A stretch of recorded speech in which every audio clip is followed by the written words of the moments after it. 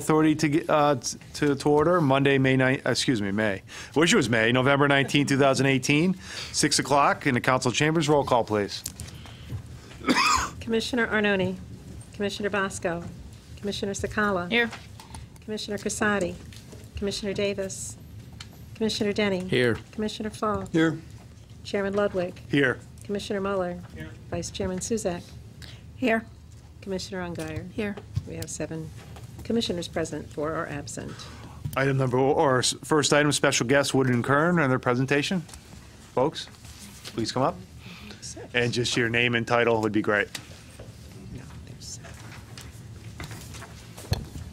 Jay Sheehan with Woodard and Curran. We're at 1699 uh, Elm Street in Enfield. Toby Fetter with Woodard and Curran. Welcome. Mr. Mayor, uh, just by way of introduction, we had had a um, special meeting as well, I think the month before last, and there were questions from the public in regard to water pollution control rates. Uh, So we had promised, as a result of those questions, to bring Woodward, Woodard and Curran here because they were our consultants and advised the council over the years um, in regard to the present structure. I also have present uh, Donald Nunes from Public Works, the director, in case any questions need to be directed to him, and also John Wilcox, who wasn't here during the uh, inception of the program, but has certainly been here during the um, uh, last couple of years uh, during the implementation. So that I think that will cover the bases. Hopefully, they they can do their presentation. Council could inquire of any clarifications, and then we provided, again, as we said we would, a public section so they can make comments. There won't be a back and forth of answering as we don't do that in public communication, but we will again take down those questions and provide answers and put it on our website. This also will go on our website, this presentation tomorrow. So I turn it over to Woodard and Curran. Welcome, gentlemen. Thank you. Thank you very much. So we have a pretty, well, it's, it's a robust agenda in some ways, so bear with us for a little bit. We don't expect to go on for 20 minutes, but it, it may be a solid 10. Um, We will talk about the WPCA compliance timeline and why we're, why we're where we are, the evolution of the costs and the evolution of, of the rate system. Uh, definitions, we want to be clear, because we we've been listening to hearings that we weren't at, and we've heard a lot of confusion from the public and others. So we want to make sure we're very clear on what the definitions are of things. We'll talk about the rate system decisions, the rationale, the process, and especially the 2014 rates that were established, and then the 2019 increase, fiscal year 2019, which is this year, and then options moving forward and benchmarking. Great. So real quick, just to look at the compliance timeline, why the whole project started. Uh, in 1938, the, the WPCF and the co- collection system was built. In 95 was the last major upgrade to the system. So it's been, you know, 20 plus years before anything's been done. Uh, and even that last major upgrade wasn't a full upgrade. It was just a piece of process that was handled. So it's been closer to 40 years before things have happened at the plant. As a result of that, there was a series of notice of violations that the DEP issued to the town of Enfield. February 21st, 2012 was the, the last one, and it was the fifth one. Um, those notice of violations can result in up to a $25,000 per day fine for not being in compliance. So this is what the town was facing. To show you the list of deficiencies, it's pretty extensive. We won't go through every one, but just know that there are five notice of violations, and then all these deficiencies were identified by the DEP. So there, there was a lot of work that had to be done back in 2012. So at that point, the town in October 20, 2012 said this is a little over our heads, so they need to hire a consultant. So they went into a public process, RFQ, qualification, actually, it was a cost based selection on a capital study and rate plan. And we were selected in a competitive bid to uh, do that first project. The first deadline for NOV compliance was January 2014. Again, by complying then, we wrote a little report to DEP that said everything's fine, so that avoided a $25,000 fee. Then in May 2015, we had another compliance deadline. Again, these, these fees are avoided. Uh, then in November 2015, famously, the $36 million sewer referendum passed, which is significant because that allowed for the funding to do some of the corrective measures that DEP was requiring.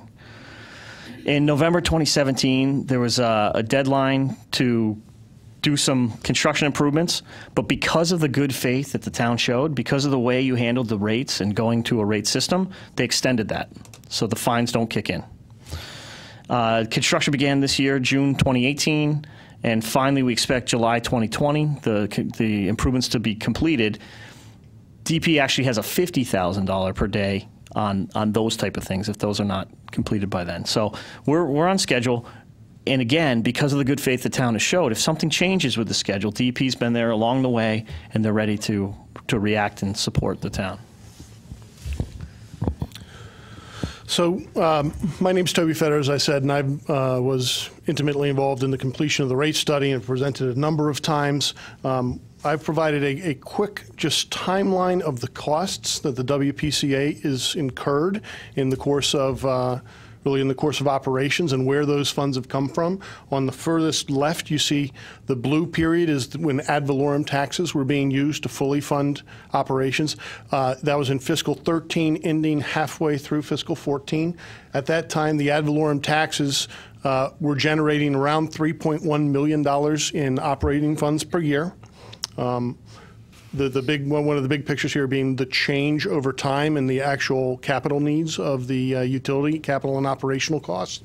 Um, the red star there, the one thing I will point out, when you made the switch from ad valorem over to an actual rate base revenue generation scheme, the, the WPCA had amassed a $3.6 million debt to the town general fund. Okay, and so when we established rates, uh, that was there on the books, and when we set the rates for the first five years, the goal was to begin to pay that off, and uh, as well as support operations.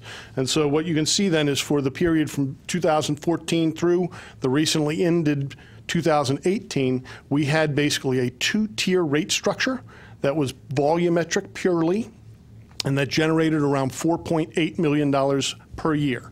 Now, the initial rate set recommendations were for about $5.3 million a year in overall rate uh, revenue generation, but um, decisions just made by the council to adjust for water time usage in the summer and watering and things along those lines reduce the actual revenue generation of the structure by something to the tune of around $450,000 per year. So the actual revenue generation is around 4.8 million pretty consistently through that four-year period basically in fiscal 19, this is where we have a big jump. And in uh, commensurate with that jump, we knew we needed to reset, basically, or, or, at least restructure the way that we are generating revenue. And you can see that we've jumped from a $4.8 million generation to somewhere up in the range of $7 million. Now, some of that, and we'll discuss this later on, was changed during the um, during the budgetary process. But when we set rates in April, that was the number that we were targeting. And as you recall, the switch there was simply to bring in uh, fixed charges uh, that were applied on a quarterly basis to customers based upon meter size, which is a very, very frequent practice in, in both water and wastewater industries. So, to Jay's earlier point, uh, we did want to address based on some of the things that we saw in the replay, the differences between a tax and a user fee. So a tax is basically a charge imposed by an authority and is levied on the value of either income or property owned. The ad valorem obviously is a tax levied upon real property, and that is what was used, as we said, through 2013. Now, Everything else, and those can be flat fees, they can be fixed charges, they can be volumetric charges within the industry are defined as user fees. Um, and it is a user fee is defined as a charge that's imposed to a customer, and it can be based on either fixed or volumetric uh, characteristics. And in truth, the, the recompletion, or at least the revisiting of the original rate study, was used to help us identify a, an appropriate blend, or at least a blend of charges and volumetric rates which would generate the volume of money that we needed every year. Okay? So just a little bit more history of the rate program. So in 2013, the as, as I mentioned, there was an RFQ to go out to find a consultant to help with the rate study. So we were selected for that. And that was on March 15th, we presented Council WPCA with a recommendation um, for rates. And it was a full financial review of the utility, we benchmarked Enfield against other utilities. We looked at the capital improvement recommendations, and it's, you know, important to note that uh, we had recommended actually $42 million in capital, and in working with some of the steering committee, it was reduced down to 36 million. So Enfield was getting a good, you know, a good um, value, if you will. We recommended at that time a flat user fee. So that means, as Toby described, that's a flat rate, you know, X dollars per year for the users. In view of ad valorem, that was our recommendation, or in lieu of.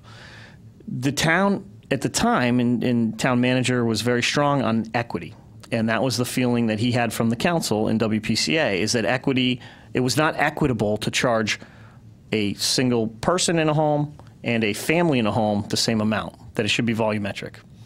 So we said, great, we still can do that. It's all about raising enough revenue.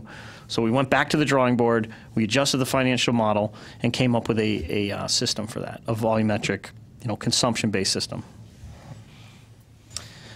So the other thing that's important to note, and there's been a lot of kind of conjecture about how we got from ad valorem. It's very clear. This is not this is not ambiguous. Chapter 103 of the of the state code, um, section 7267 on use of funds says that sewer funding shall be kept separate from other kinds of funding in a municipality. So Enfield wasn't doing that that meant that the plant ran down. So for 40 or 50 years, you were not funding the plant the way a normal WPCA would fund the plant. And that's just a fact. Um, and it was before, you know, we were all there. So to get Connecticut DEP funding, which on this project is 6 million in grants and about a 24 million dollar 2% loan under the state revolving funds, there's a requirement to capture these funds, a durable, and those are important words, a durable and dedicated revenue stream is required. So that's where some different type of funding system has to happen. Furthermore, um, well, so the, in 2013, the town manager recommended that, and town council WPCA approved a consumption-based sewer system, and the ad valorem system that had underfunded the WPCA, as Toby mentioned, by about 3.6 3.6 million. So that was borrowed to just pay. So now that had to be paid back. Because of all this, you know, conversation about why did we even change, uh, your finance director John Wilcox went directly back to DP and said, "Did we have to do this?" And so on November 9th, uh, DP answered the question, and it was Jen Perry, who was the assistant director of infrastructure management with DEP she said, and, and, this is a quote Enfield must remain on a dedicated user charge system in order to maintain CWF financing. Staff would also recommend an increase in rates to address the deficiencies, ensure the effective operation and maintenance of the system. So she went a little further by saying raise the rates, but that, that wasn't the question. Um, and then, as mentioned, there's even state regs, um, 22A 482, which would make an ad valorem system, if, if Enfield switched back, would make you ineligible for that six million in grants and the uh, the loan amounts. So we just we've heard a lot about that. We saw it at the meeting, and we just want to make sure it's very right. clear that this wasn't a flip decision, and it was a recommendation from staff. So after the rate study capital plan, uh, council modified sewer article 86, and then WPCA council approved rates. Finance started uh, consum consumptive billing in 2014 the sewer fee schedule was amended to reduce the connection fees. So we had a certain target. We reduced the connection fees. We gave some allotments for there. Then there was a reduction for irrigation and pools. So we took a little bit more out of the, the revenue we're trying to generate. Just to be clear, though, those were not Woodard and Curran's recommendations. Those were decisions right. taken independent of our council we always support whatever council WPCA does. So we'll we always uh, go back to the drawing board, tell you the you know we have memos on each of those situations. We worked with town management, et cetera. But you know it's not that wasn't our recommendation. On April 8th, 2015, council was provided. So the council at that point, so now you're a few years into it, um, asked the finance director at the time, Lynn Nenny, to do a five-year quarterly update. So how are we doing on, on revenues? We were not involved in that either, but um, she reported back. In June 2017, we were asked, Woodard and Curran was hired again to do a three year finance audit to check back in. So that's where we got to today. So that's important to provide the context. In the spring, we came back with a recommendation after our audit, and Council WPCA said that we should have a bipartisan subcommittee and have some meetings. And there were four total meetings two subcommittee meetings and then two with WPCA Council. And then at that point, new rates with fixed charges began. But those are a few meetings, but we've had more than 16 meetings with council and WPCA since this rate issue came up. So again, there was some kind of intimation from, or, you know, from the public or whoever that said, this happened under the cover of darkness. There were 16 meetings with, you know, Right. council and WPCA. So we didn't sneak anything by anyone. This is all, all up and up. Um, Okay. Sure. So um, basically, the the fiscal 18 financial audit, um, effectively, you know, we went back and we took a look at what the revenue performance had been, why we had, um, why we had the delta between the 5.3 rate, uh, the the 5.3 revenue generation that was in the original rate design and the 4.8 that was actually occurring between 2014, 2018. Um, But in in essence, we came back, we documented the performance. In truth, the the the rates were working with exception of the modifications done afterwards, pretty much as intended, which gives us a lot of, uh, a lot of confidence in, in the model itself. But basically, where we stand now at the end of fiscal 18 is that we still have about two and a half million dollars to repay to the general fund. That's from the original 3.6 million, and it was always intended that the the um, the revenue generation of the 2014 rate set would do that. It just was originally intended it would do it more quickly um, because it would have you know increased the revenues. But uh, again, to my point earlier, the big change that happened as part of the rate setting that came out of the, the sort of the, uh, the audit was looking at the coming fiscal cycle, fiscal 19 that we've just entered and we've adopted the, the new rate structure for. In effect, we went from a situation where we knew we had a rate structure that would generate 4.8 million. We were going to a situation where we identified a need to generate 6.75. As I indicated, um, you guys, uh, meaning the council and the WPCA board, made some modifications to your budget, um, and you also made some modifications to the recommended rates that came out of the rate update. We wrote a memo in June, uh, and I'll- I'd be happy to hand these out a little bit later, both the, uh, the actual rate study report as well as the memo in June that told, where we basically indicated to Mr. Bilmes what we thought the likely financial outcome of the adopted rates was, and I'll hand those out at the end of the meeting. But in essence, we think your current rates are going to generate around 6.2. Um, that would look like a $550,000 deficit, but you've also cut spending significantly. And as long as we aren't going to be trying to pay down debt, um, in truth, you're going to be probably fairly close this year. Uh, we did. Um, uh, Working with, with Mr. Wilcox, we, we took a look at your financials year to date, and the revenue generation of, of the program is working as expected to generate a little bit over $6.2 million. So we feel confident that, that you'll be able to land the ship as long as we don't have an upset in, uh, in, in really the, the consumption that's used in the latter part of the year. Now, a big part of the jump in revenues, of course, because you only changed your, uh, your volumetric rates quite minimally, uh, in, increased by 1.2%. The big jump in revenues between that $4.8 million number and the 6.75 revised to 6.2 is all associated with the fixed charges um, that were instituted as part of the fiscal cycle. Um, and so that, that basically being where we are. The big thing to note here is we can foresee knowing what your future debt service requirements are going to be and adding those onto your existing operating budgets. And the debt service, just to be clear, as Jay indicated, the financing package from CT DEEP is for 2.4 million at 2%. So those, the, the, I'm sorry? 24. 24. Oh, I did say 2.4? Pardon me. At 2.0%. And um, obviously, as the construction proceeds, you're going to need to begin to pay on that note, similar to having a mortgage. And we need to account for that when we start to design rates for the future and uh, estimate what we're going to need to raise from our, from our revenue structures. Do you want to talk about the study before we move on to the 500,000? Oh, yes.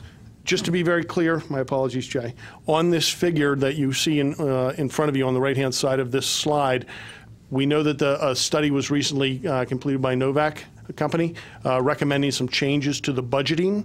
Uh, Those are not included within the numbers that are on this slide. Um, We could include them, and in truth, if the, the town decides to enact those changes, we will need to modify the expectations for the future. In truth, it would drive up costs by about a half million dollar a year is uh, the closest that we can, that we've heard right now, so. So just going back to the bipartisan subcommittee for a moment, that was March 5th. Um, There's, the members are listed. And there was a very um, clear goals that the subcommittee tried to define. So to fully break even in fiscal year 2019, so break even. So you're really doing that, as Toby suggests, due to state impacts on town budget, of course, too. Fully fund operational capital costs WPCA. Make sure it was equitable. That's an important piece. So that's we'll get back to that in a second. Repay to the deficit to the general fund over time, and we're not paying down as much as perhaps we we would like at the moment because of some other choices, but we're we're still um, you know funding at at um, current rates, and then build adequate reserves. And that's the other thing that's not happening. is We're not really building reserves as it goes. So with that, you know, there were options. The volumetric rate increase. So right now you had volumetric, so it's measured consumption, and you could just increase the rate at which you're multiplying the multiplier for the consumption. Uh, that was one way. It would have to go as much as 40%, which is a pretty big number. And then it would have to go up over time. Then there's fixed charges, which are the, the meter fees, which we also clearly hear people aren't thrilled with meter fees. But that's a very common practice in the industry because fixing a certain part of the budget gets you away from this, you know, the water cycle and people using more, using less, using more. So you have a fixed income and then you have some volumetric for equity. And that also um, mattered because there's a lot of people paying minimums. And the minimum was absurdly low from the, from the way it was started. $13 a quarter. $13 a quarter, which is, you know, just, just really low. And you'll see because we'll compare to some other towns. Then there was we could just do what we originally recommended, which just go to a flat rate, just a, a certain number that would go to every resident uh, residential user, and that would be the same for the single family or the single individual that lived in a home. Uh, or we could return to ad valorem, even for a portion of you know maybe just the capital, but that's certainly not a preferred option because we saw DEP's strong feelings on, on ad valorem. It would represent about a 2.31 mill rate increase, but we don't, we're not sure we can even do it, to be honest, with DEP. Um, so, equitability. So, what, what did the subcommittee decide? Subcommittee liked a combination of a volumetric rate increase and establishing a fixed charge. So that combination would kind of mollify that, that big change. So, um, in, in the end, obviously, on, on the left-hand side of the table there, uh, you see what we recommended coming out of the rate study uh, from the standpoint of generating uh, the adequate level of revenues that we were targeting based on the original budgets. Again, as I said, this was done in April. Um, after the budgeting went through, and, and I believe the WPCA Board and Council considered, um, you elected to reduce the fixed charge from $10 a month for the 5 8 inch meter customer down to $7 a month. And you took our, our recommended volumetric rate increase from 3% down to 1.2%. Um, so those were the basically the, the two primary things. We also made some adjustments based upon three years of actual billings to, um, to reflect some well water customers' actual probable usage based on similar characteristics of similar uh, customers. And uh, obviously, the changes between the two, the first set was designed to generate just under $7 million. Um, and the second set is, we believe, going to likely generate you just under six and a quarter million dollars in the current fiscal cycle. And so really the, the, you know, we received a lot of feedback that you wanted to know what some options might be. And so what we've provided on this table is basically some fiscal year numbers for the current fiscal cycle, next fiscal cycle, and then also just out to fiscal 2023 after the debt service is fully rolled onto the budget. Because after that point, the escalation of the rates is unlikely to be quick because at that point you'll be dealing with basically um, you'll just be dealing with the inflation on, on salaries and, and certain other portions of the budget, as opposed to whole new sectors coming onto the budget like debt service and large capital outlays. So just, just to describe this table effectively, what this shows is in the 2019, you have two bars. You have the recommended, which was going to generate $6.99 million, had a $10 monthly charge, and then that was your blend of rates. And then if you, with the adopted, we're going to generate $6.23 million with a $7 charge and basically a slightly lower set of volumetric rates. Now, just to be clear, Um, and there are some notes at the bottom of the table that describe what we've done here. We were asked to be able to provide a guidance level. These wouldn't be numbers that I'd want you to go to the bank with right now, but they're going to be quite close. We basically pulled out the, the residential revenue generation. So if you wanted to go with a flat fee, along the lines of some of the other communities in the area, this is what we would be looking at for basically the current fiscal cycles. what we would have been looking at was a 300 to 310 dollar charge, and then in each of the next couple fiscal cycles, both with a the original projection and then the original projection with the actual costs associated with the Novak study added on. So just um, wanted to give you guys some understanding of what you might be looking at under different scenarios going forward. And again, this, this table or this chart really just shows you where we've been. We, we were at a fairly low comparatively revenue generation under the ad valorem. We took a big jump up when we uh, instituted the first set of rates. We're taking another big jump up as part of this fiscal cycle because that's what the, what's going on with the spending. And that's going to drift up through fiscal 23 as debt service from the construction projects that are currently underway rolls on to the budget. So as we do this, and just a few more slides, so bear with us. We always want to look at benchmarking because you can do it in a vacuum, and you could look at how it works in Enfield, and you got to say, well, geez, is this comparable? So we, we did that in a couple different ways. So we're benchmarking the capital improvement cost of the plant. That's the first thing. So when you look at Enfield, it's one of the bigger plants that's been done. These are these are essentially all the plant upgrades that have happened over the last ten years. Um, Enfield, and and this is not escalated money. So these were the costs at the time they did the project. So note that something that happened in 2012 for 42 million would probably be closer to 50 plus million today in today's dollars. But we did not escalate.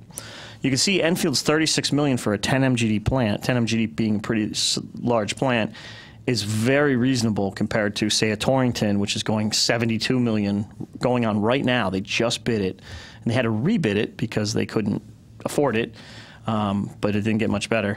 And that's starting in 28 or starting this year, and that's a smaller plant. So you you got a good a decent value from your your staff and team that that put this together. Looking at rates, it's important to look also there. Um, what we did is we have a lot. I mean, we'll hand this out after as well, so you can have it. But you can see that all the comparable communities are listed on this table. We put their mill rates, their fiscal 19 mill rates, so you can compare. Enfield's at 33.4, but I think you'll see that that's you know you look at that you look at that anyway when you do the budget, but it's pretty pretty comparable to uh, your neighbors. And then when you look at the average monthly bill, the 2014 to 2018 rate was one of the lowest of these comparable neighbors. So it was it was the third lowest at about $264. This is the volumetric rate. We just made the adjustment, or you just made the adjustment to 350, which put, still keeps you in the top or the lowest third of rates of sewer in, in these towns. And then what we probably have to move to, to, to be responsible on the, on the volumetric for 2023 is still, you know, it's, it's not the highest in the state, it's not the lowest in the state, but it's, it's, it's a little above the, the midpoint. So just, just as a point of reference. And then we were trying to benchmark that against other utilities. So this is current annual residential utility charges for Enfield residents. Roughly in electric, you pay about $1,542 a year, the average user. This is just a average. Cable TV is about 980 a year. Cell phones are about 720. Hazardville water, you're getting quite a bargain. It's 450 for those who live in Hazardville. Connecticut water is about 750. So it's a $300 swing between the two utilities. And then sewers right now, $350. So just just to have some kind of you know context to what that is. So just in closing, you have some options going forward. You could stay with the current rate system, adding in fixed charges and raising it over time, either fixed charges or the or the rates or both combinations. You can go to a flat rate, which would be um, 360 per year per residential user. That's the midpoint we see, which would rise to about 500 in 2023. And and to do that, we'd really highly recommend another bipartisan subcommittee to kind of understand that and look at the look at the costs. Or and we don't even know if this is possible, but you could go back go to a mill rate increase of 2.31 but you have to. We know that you would have to stay with rates for some portion of it because DP will not allow you to just just mill, you know, ad valorem. But you could explore that, and that would certainly require a lot more uh, looking. And, and then the last thing to just say is that you know, I think sometimes consultants are are you know, and we heard a lot of words, but um, blamed for being the bearers of bad news. We, we don't feel good about that. And, and more importantly, we are residents of the town of Enfield. So we pay these rates as residential, commercial users, or both, because we have employee, we have 20 employees in our office. We have some that live in Enfield and own houses. So they pay these rates, and then our company pays the rate. So we're not profiting from these rate increases. So any suggestions of such, it's, it's just not. This hurts us as much as it hurts other people. So with that, any questions? Well, well, again, uh, fantastic. So just for the public, when, this will be out on the website Tomorrow. tomorrow. And any other questions we receive, we'll put out there. I think they've done a thorough job of giving the historical, because, you know, this happened over a course of many years. Some of you were here, some weren't. Some residents were, some weren't. So it, it's kind of tough when you're looking at it in a patchwork fashion. This, I think, is a very good presentation of where we were, where we need to go. I, I would just like to stress that one of the important things, we are at about a status quo, understanding because their recommended rates weren't completely adopted because council and WPC and the subcommittee gave some consideration, understand that that debt of the 2.5 million we owe to the general fund is out there. And it's kind of like your mortgage. You know, maybe the bank would say, I know you're going through hard times, don't make your mortgage payment, all right? But you still owe it.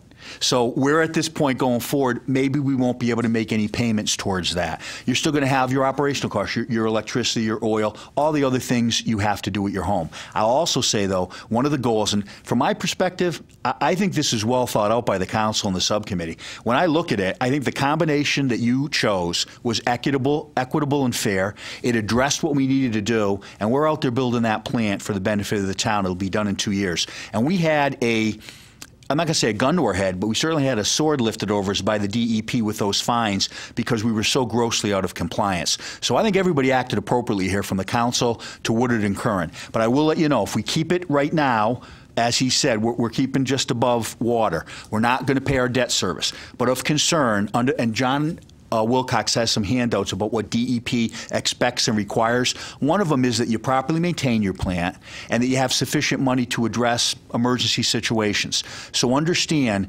because we sort of gave a short-term hiatus and didn't fully implement their recommendations, we're not really having much to pay the debt service, and we're not doing the fund, the reserve fund that we had, you had targeted to be about about, I think a million two, a million five. What does that mean?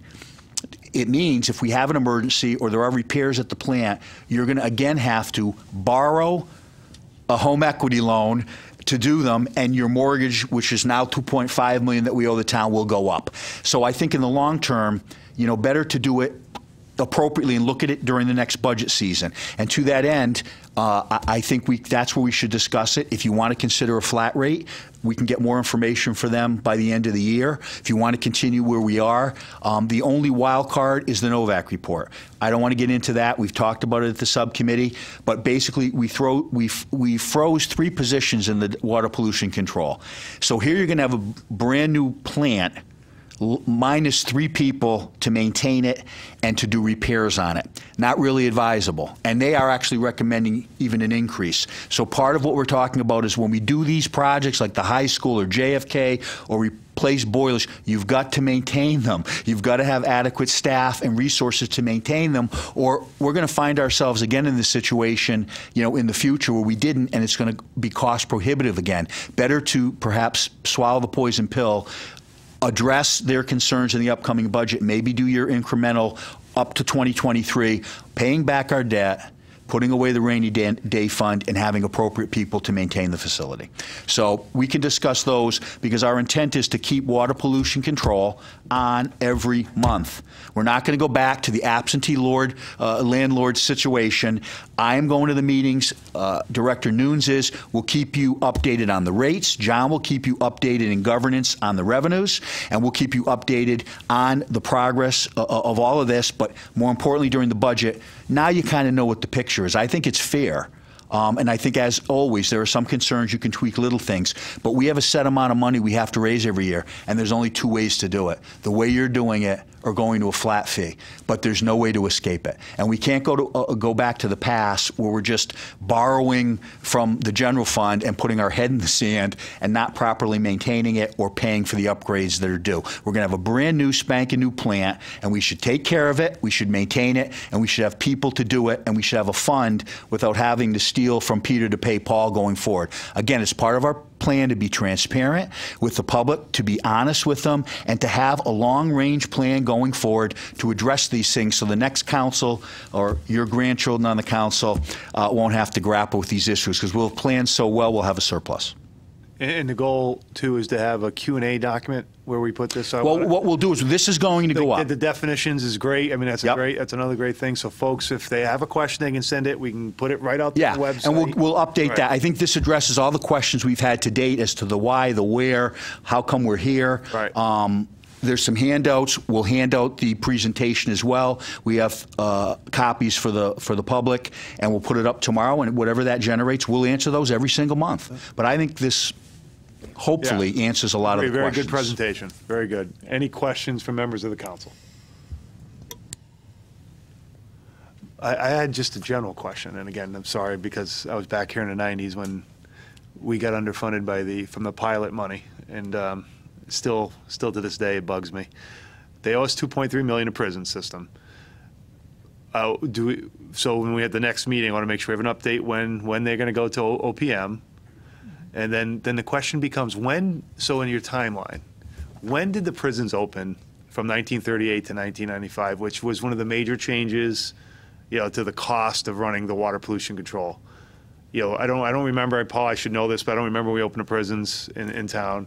In the 60s. And so then the, so then the question becomes through this, as we look through this, and I saw, and, and please correct me if I'm wrong, the vol, this, and I'm gonna use the M, the MGD or MGB you call it? Mil- Million gallons per day. With, MGD. with the, with the potential of that plant when it's done, how do we, or can we, start surrounding towns taking over theirs and start generating some additional revenue with the size of that? And I- I'm a, I'm a novice, so I apologize. But M, MBG, MGD, B, whatever you guys call it. I mean, there's an opportunity, I'm, I'm going to say, where we can actually maybe take other other towns and maybe generate a fee, so we're not asking the, ta- our taxpayers to, to fund what obviously is what we're going to have to fund over the next 10 years. Right. So I just want, you don't have to give me an answer, or if you, but if you want to, it'd be great. So what you're referring to is generally known as regionalization. Right. And it's um, increasingly seen for municipal utilities that used to go on their own simply because, by all means, there is definitely economies of scale to be had in the wastewater, you know, conveyance and treatment business. So can we, maybe as we get, I don't know if this is through the town manager, maybe start coming up with a plan and maybe asking some surrounding towns as we go into the budget next year, if- even if it's one or two towns? And I, I will say that it, during the facilities plan, we explored a little bit of that. Uh, we looked at Somers, Mm-hmm. and they have a small plant that if they need an upgrade, they're going to want to That's do right, something yeah, different. right. And we're very close to their sewer line, so it'd be very easy to, to connect to them. So we've had a conversation with their f- prior f- first select woman. Um, it's something to keep at. You know, it's something to keep talking about. There's definitely some sewer issues in Suffield, particularly Lake Congamond, Right. which is a little closer. It's a little far away, but um, they don't, you know, have the wherewithal to bring it to their plant. So there's some there's some opportunities. In other words, there's some Okay. things that could happen. Just maybe for a future agenda and a while, because I We'll agree ex- with you, I want to we'll explore that. Okay, on a monthly basis, so we can update. And the two other items, uh, in regard to what the state owes us uh, under the DOC agreement, we have talked to our consultant, Fuss O'Neill. They're going to report to me in the morning to find out, you know, when and how it's going to go on the state bonding commission uh, for action. So we'll have an update on that. And I think, Mayor, what I'm going to do too. There was a very good article today in the Connecticut Mirror on the pilot program. I don't think people understand what it is. Right. The pilot program is payment payment in lieu of taxes. So we have large state facilities in, in our town, It u- and we can't tax them. It was unfair. So many decades ago, when it was you know put into place, they said, well, we're going to come up with a. It's going to be less than your property tax, but it's going to be a payment in lieu of taxes that the state will pay you to reimburse. We're using your roads, we're in your town, and other impacts. So we'll come up with a formula.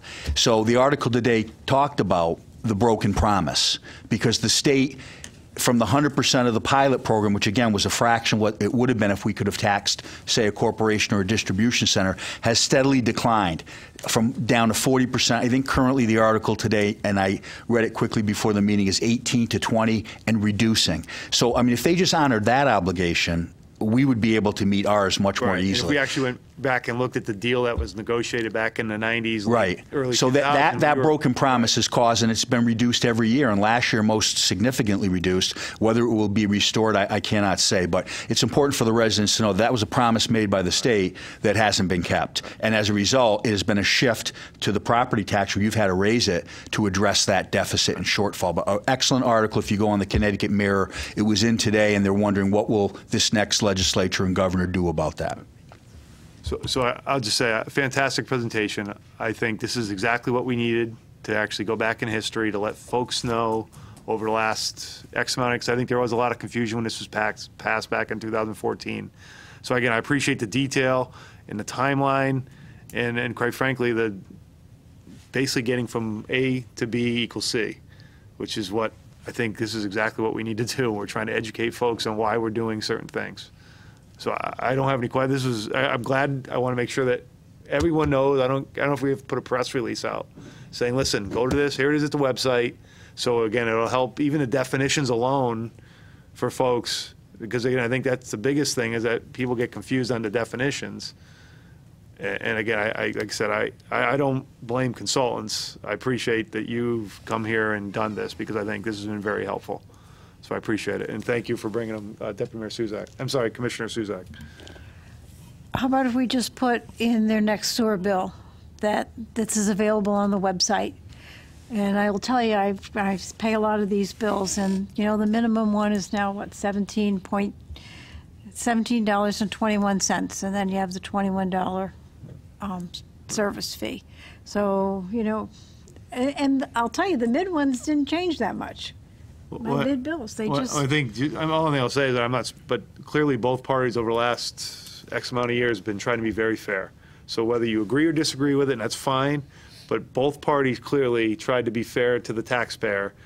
Because I think I agree with you, the way they, the way, where the subcommittee selected the volume and, and the rate showed a, an understanding that they understand folks can't pay a $300 flat charge. I mean, I think that's the reality of the situation. So certainly we'll take the criticism, but I, I, I'd rather get criticized for both parties trying to be fair. So I think, you know, over the last X amount of years. And, and so I, I think, you know, and you can see from the original recommendation, when they lowered the initial recommendation of revenue, uh, in hi, on hindsight, you know, we, maybe we wish they didn't do it, but at the time, we've been in a recession for a number of years in this part of the town, the state. I mean, I know the rest of the state maybe just started joining the party, but we've been in a recession for a while, so I, I don't criticize a past council for taking into, a, into account what people's ability to pay, in both sides. So I think, I, I mean, I, I have to admit, I, I think both parties should be at least somewhat resolve the fact they've tried to be very fair. And that's all. Yeah. Uh, When you, when you came up with your original uh, estimate for revenue, um, and you took into account the fact that in the summer, people use more water, I guess, because when we took it out, it hurt your estimate. That, that's correct. Wh- So- why didn't you take that into account in the first place? Because people water their lawns, people wash their cars, people fill their pools. Why would you include that in there in the first place? Sure. So, you know, communities are allowed to adopt policies as they see so fit. We were not instructed to include it in the rate study. So, generally speaking, you know, when you're attempting to, you know, attempting to, um, you know, get a projection of a revenue stream, and you have only one sort of weighing device, so to speak, that being water meters. We used the one weighing device that we had, which is the water meter readings for three years from Hazardville Water and Connecticut Water, to um, to basically generate how many bills of sewerage were going to be used. Now, the the sort of the side impact of when you when you make a blanket application of of um, saying, well, we're going to say you only use 90% of your water as sewer every summer, and you apply that equally to all customers. It doesn't change the revenue that's derived from any single customer, right? Because But you- apparently you- it did. well, it, it did, but that was after we'd set rates. If you had told me going in, into the 2014 rate study, that we want you to assume that, you know, we'll only build 90 uh, 90 gallons per every 100 gallons of water on the sewer side, we would have adjusted the actual consumption that went into the model, and you would have ended up with a higher volumetric rate, just applied to fewer gallons. But the dollars would have been the same, because the rates are always designed to generate enough money to cover the utilities' costs. What I can't understand, though, is you're the experts. You do this all the time. And yet you made a false assumption. And now we're in a hole. I'm not sure that's an accurate characterization. I could take you to many communities in, in Connecticut that don't adjust summer consumption, and I could take you to others that do. Well, so yeah. that, that's a that's a that's a selection made by the community. Well, I- I think there's- obviously, and Mike pointed it out, the fact that the committee and the council, or the Water Pollution Control Authority, took that into account for the fact that people weren't putting it down the sewer line, it was going in the grass. I was one of those that came before them and complained because I didn't want to have to pay taxes. It- My normal bill was like 80 bucks for three months. In the summertime, I'm five to seven hundred dollars. You kidding me? Pay a, a, a fee, a sewer fee on what's going into grass at that amount? I, That's I, I'm not saying you're not re- reasonable in that expectation, but when, when I'm asked to set rates, I do have to make some assumptions. And, and in light of the data that we had available, and so just, just to be very clear, clear. In the 2018 study, that was taken into account. So the rates that are now enforced, that was taken into account on the revenue gener- generation. In the original study completed in 2013, we had no basis to understand what what sort of adjustment would be made. We know that quite a few folks have put in deduct meters at this point, uh, and, and appropriately so. You know, I, I, I take, I, I have no, um, I'm really agnostic as to what policies the town should be allowed to allow people to put in. But it's, I, I'm here to try and help you understand, in order to raise revenues of X number of dollars, here are a set of rates that will do so with a given set of policies. And some of the policies after the initial rate set, after you heard from your constituents, were changed. And that's okay. We accounted for them the next time we went around. Um, But, but I just want to point out one other thing. When we did do the original rate, we did not take water consumption at 100%. We, we factored in a reduction in water use based on a sewer program. We, absolutely was in the original assumptions. It wasn't just 100% times the rate. We, we brought in a, a slight decrease. It's just we expected to continue to have, um, the deduct meters made a, a much bigger decrease than we ever anticipated. Does that make sense? So, Because there are industry, industry standards for, for the amount of Counselor Denny, then I, I know there's two folks here at least I think want to speak. Then we have 10 minutes left, so go ahead, Counselor Denny. Why don't just give them, yep. The question I have is if we go to a flat rate, will, will we save money in, the- in the sense that we will, de, we will eliminate this company that were hired and we're not, we won't be paying the water companies to monitor our, our well, our uh, meters? Yes?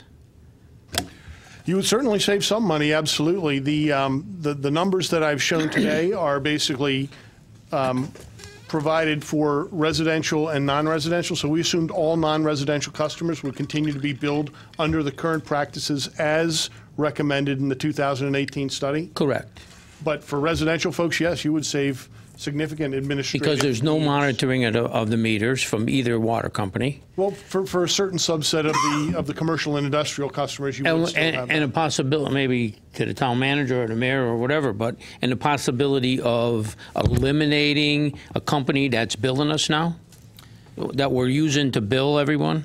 So again, uh, you know, to, the idea would be to do the residential rates on flat, but the commercial industrial still based on Still water. on the So there's still little billing, but it would be a greatly reduced. I mean, the billing um, is not insignificant. It's a couple hundred thousand dollars a year. We can ask Mr. Wilcox to look at that for our next meeting Yeah, I together would, with some I would like direction. to, I would like to see that. And also, the other thing I wanted to say, you're, you're all, all talk about the website, but material in the town, in the town hall, so people can come and pick it up that are, that are not privy to going on a website? All right, we'll, we'll prepare a, uh, a, a stack and we'll put it at our information desk at the uh, town hall inf- at the entrance. Because, you know, I have a lot of constituents that are not on the website and they're not going to be. All right, Fair, very fair point. Yep. thank you. And you know what? We'll, we'll, we'll put a hundred here and we'll put a hundred at the senior center. Perfect. And then if we get a, a request for any other location, we'll put it there too. Thank you very much. I'm sorry, I have to, we want to make sure, I know there's at least two people want to speak. I want to make sure they have time, so thank you very much. Appreciate it. Would you like us to hand these out, or should we just leave them at the desk and? Yeah, uh, whatever works for, Should I just give them to you? so uh, we have, uh, Put 'em at the the, the the meeting said, uh, it depends how many people, I think there's two people here who want to speak, correct? So five minutes each, since you're the only two? Whoever wants to go first? Karen? Five minutes? Yeah, you can stand out. Just to the...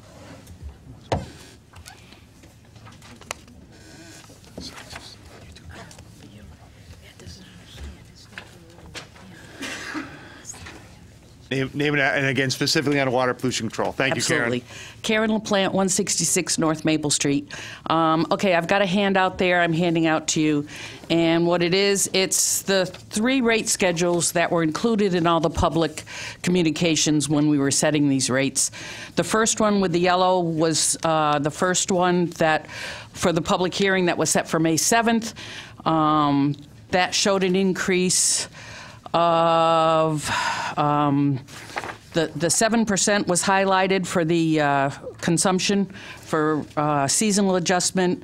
The $2.05, which wa- ended up being a typo down, down the line, um, and so forth. So after the public hearing, if you turn to page two, um, those were the approved rate schedules. The rates were lowered from the proposed rates before the public hearing, but still resulted in a rate increase for sewer users. Page three shows the rate schedule that was adopted at the last meeting on October 15th due to a typographical error. I would like you to go back to page one and ask you, how much do you think, by looking at this schedule, do you think that the well users would be charged? Would you safely assume a residential or small non-residential user would be charged 12,380 gallons at $3.49 per thousand gallons? I'll do the math for you. It comes out to $44.60. The rate in effect at the time was $43.32. This would be approximately a 3% increase in rates, reasonable for the average consumer. For the metered customers, the rate would go from $43.32 per quarter to $74.60 per quarter for the same amount of water. Um, When you add the proposed ready-to-serve fee of $30, a whopping 72% increase which I think I pointed out during the public hearing, and that was the reason for some of the changes in the rates. Um, If you notice on page one and on page two, there was never any mention of the ready-to-serve fixed quarterly charge for the private well-based rates. Not until we received our bills did we believe that we would be subject to the regular, ready-to-serve fixed fee. This is well users only I'm talking about. Page three rates were adopted after your last meeting on October 15th due to a typographical error. According to Merriam-Webster's dictionary, definition of a typographical error is a mistake such as a misspelled word, a misspelled word in typed or printed text, um, such as the book contains a number of typographical errors.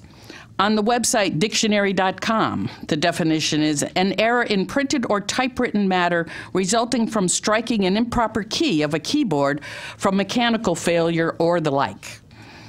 I believe it is possible that the 7% to the 7.5% might have been a typographical error.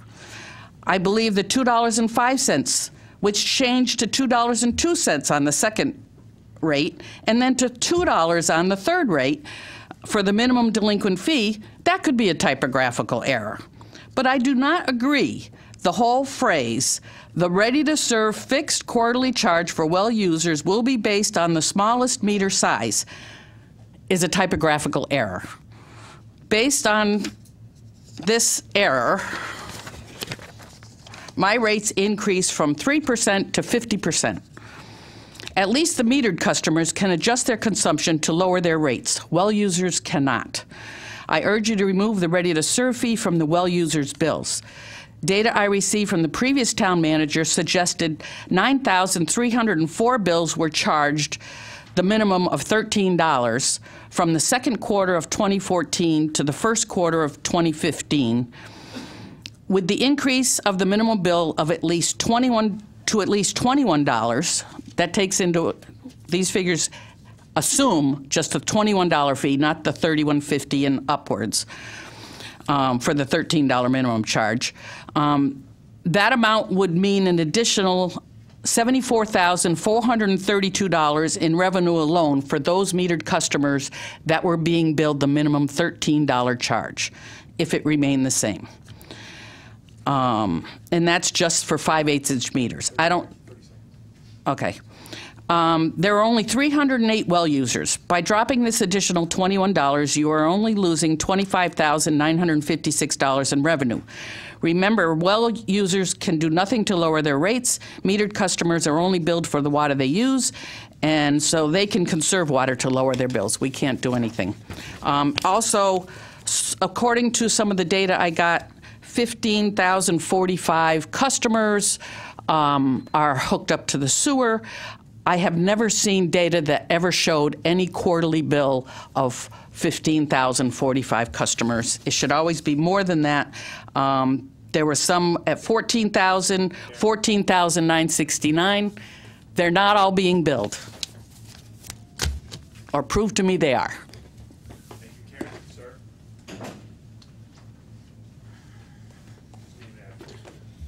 Hi, I'm Jared Denardis for Center Circle. Uh, I'm a professional uh, at a wastewater treatment plant in another town, uh, so I do have some working knowledge of how a treatment plan upgrade goes, and I can understand uh, how difficult everything can be with finances and everything going on. And I just wanted to voice my concern about the. Um, I think the town manager said the the I saw the meetings on the on the slide, and I do appreciate that. I just think with such a large asset that the town carries, with such a large amount of money that's tied up with it, that a, a separate and finite WPCA uh, beyond just the subcommittee would benefit not only the town but the council and and everyone involved. Um, because it is it is such a it is such a large and obviously it's it's very hard to deal with and it only gets more expensive. Um, and uh, that's basically what I wanted to say. And uh, thank you for your time. Thank you. Appreciate it. All right. Anyone else like to speak for the water pollution control? Oh, sorry. Like to speak for the water pollution control? Hearing none, thank you. Uh, I have a motion to adjourn So moved. by Counselor, Commissioner Falk. Seconded by uh, Commissioner Denny. All those in favor by show of hands? Opposed? Meeting's adjourned. We have two minutes for the regular council meeting.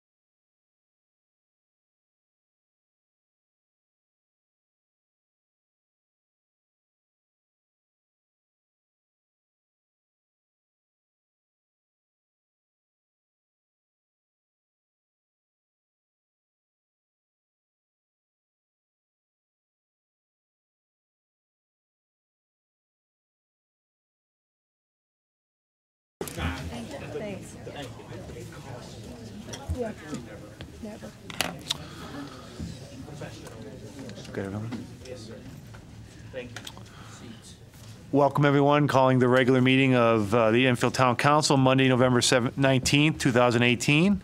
Uh, Prayer by Councilman Bosco.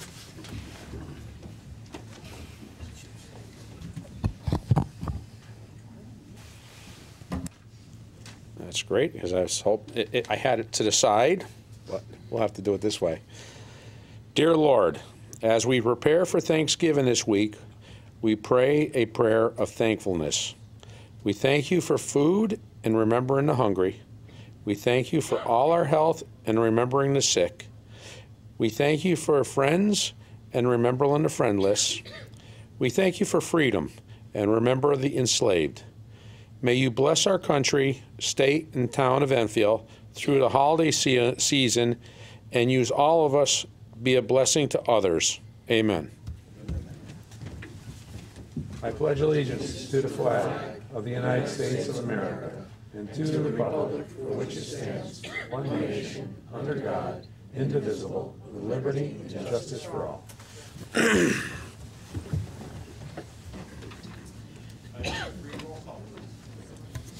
Counselor Bosco. Here. Counselor Cekala. Here. Counselor Crisati. Counselor Davis. Here. Counselor Denny. Here. Counselor Falk. Here. Mayor Ludwig. Here. Counselor, Counselor Muller. Here. Deputy Mayor Suzak. Here. Counselor Ungary. Here. Counselor Arnone. There's nine members present, two are absent. Uh, Item number four, fire evacuation announcement. In case of a fire, please orderly go to the exit, the back of the, the chambers. You either go left or right, or out the doors to our left to the audience right. Go out through the first left door, down the stairs, and out the doors into the parking lot in case of a fire. Item number five, minutes of preceding meetings. Since we just had a meeting on Tuesday, I'm assuming the minutes aren't ready. So there's no uh, minutes to approve. Item number six, special guests. Um, I'd like to call the chief up first, please.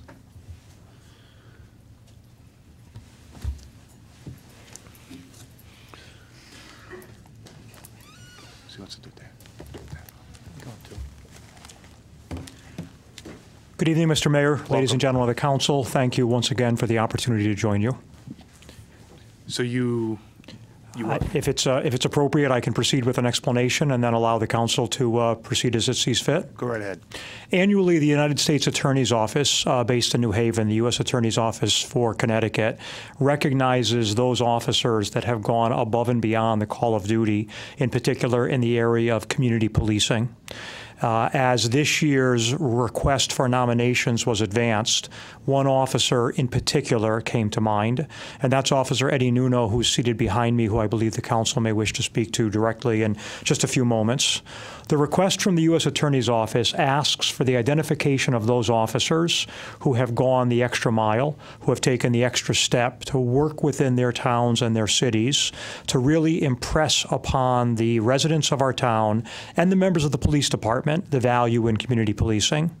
Officer Eddie Nuno is a 25 year Enfield Police Department veteran, and as I shared with him a few moments ago, he still gets it even after all those years. He's a veteran of the United States Coast Guard. He has served as the Enfield Police Department's representative to the town's Juvenile Review Board. He is our liaison to the Enfield Youth Services Agency. It's fair to say that his bilingual ability makes him uh, an official or unofficial ambassador to the town's Hispanic community. It is not unusual to travel through Thompsonville and see Officer Nuno interacting with members of the public. It is not unusual to see him speaking with business owners. It's not unusual to see him in the middle of a sporting event stopping to play basketball with kids on the side of the street um, and really impressing upon them what it means to be a good citizen, what it means to be a member of this town, and the relationship that we wish to have with the youth and the residents of our community. Uh, I have also uh, been very pleased to let you know that Officer Nuno is, uh, uh, meets regularly with assorted landlord associations, works with business owners to make sure that they do everything possible to succeed. He's been a long-term field training officer of ours uh, that allows him to pass his skills on to the next generation. It's the totality of these attributes that caused me uh, immediately to recognize and recommend Officer Nuno for this recognition.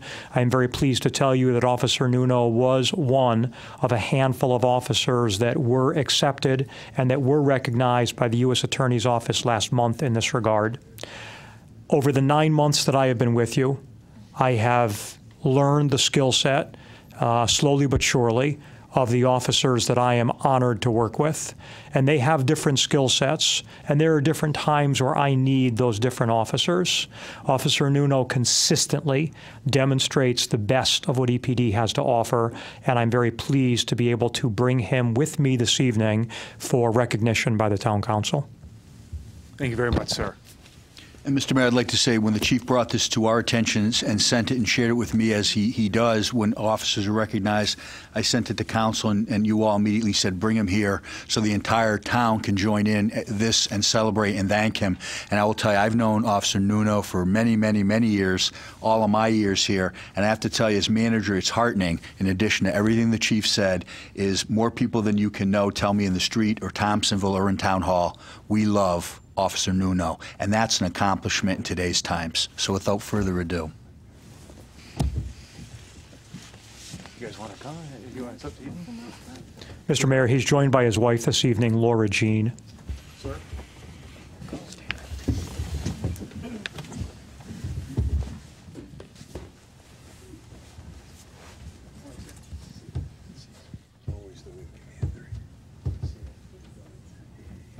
Thank you very much, Chief. See, holding this and speaking in the mic is a tough thing for me too, at the time. First of all, Chief, great. Sure. Great introdu- introduction. Proclamation honoring Community Policing Award recipient Officer Eddie G. Nuno. Whereas the United States Attorney's Office for the District of Connecticut recognizes Officer Eddie Nuno among 14 other law enforcement officers and community members from cities and towns across the state at a Community Policing Award ceremony on October 30th, 2018. And whereas in honoring the very best in community policing in Connecticut, U.S. Attorney, U.S. Attorney John H. Durham stated that these deserving law enforcement officers understand that community policing is an effective way to prevent crime, solve neighborhood problems, keep our cities and towns safe and secure. They know that it is critically important to engage with members of the community in positive and friendly, constructive ways long before a call for service. And whereas Officer Eddie Nuno is a 25 year veteran of the Enfield Police Department, after serving with the United States Coast Guard, he has worked in a variety of capacities over the course of, the, of his Enfield Police Department career. And whereas the Enf- Enfield is very fortunate that the officer that in that officer Nuno serves as a field training officer, placing him in a position to pass on the skills and a positive mindset that he possesses to the next generation of Enfield police officers. And whereas Officer Nuno serves as the Enfield Police Department's representative to the town's Juvenile Review Board, as well as department's liaison to the Enfield Youth Services Agency, and whereas Officer Nuno is well known, particularly in the Thompsonville section of town, for his regular community interactions, stopping to visit with community youth, meeting with landlord associations, helping businesses do everything possible to succeed. Now, therefore, I, Michael Ludwig, Mayor of the Town of Enfield, on behalf of the Town Council, the Town Administration, the entire community, do hereby congratulate Officer Eddie G. Nuno on receiving a Connecticut U.S. Attorney's Office Community Policing Award as one of the most conscientious and committed officers in service today, with a true dedication to the concept of community policing. Congratulations, sir.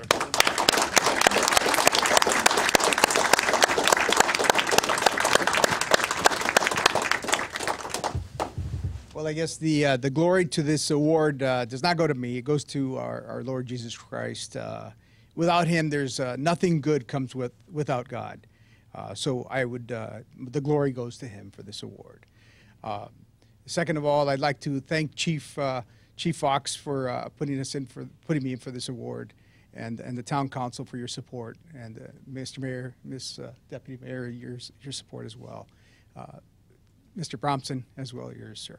And uh, I'd like to also thank uh, my wife, who's been putting up with me for 25 years. A lot has gone on in this line of work, a lot of sacrifices. Unfortunately, my wife has taken the brunt of the sacrifice. And so a lot of this award goes to my wife. Uh, that's who I would award this to if I had to give it to somebody. So I thank you again. Thank you so much.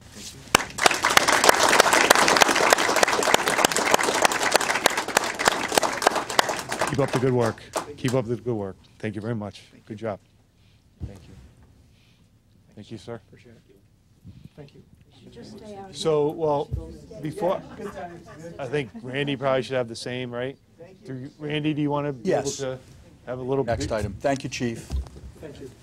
Would you like to give a little? Thank you, sir. Yeah, good to see you. A few words on the building committee?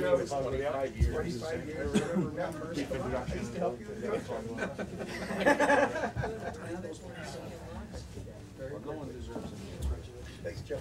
Thank you very much.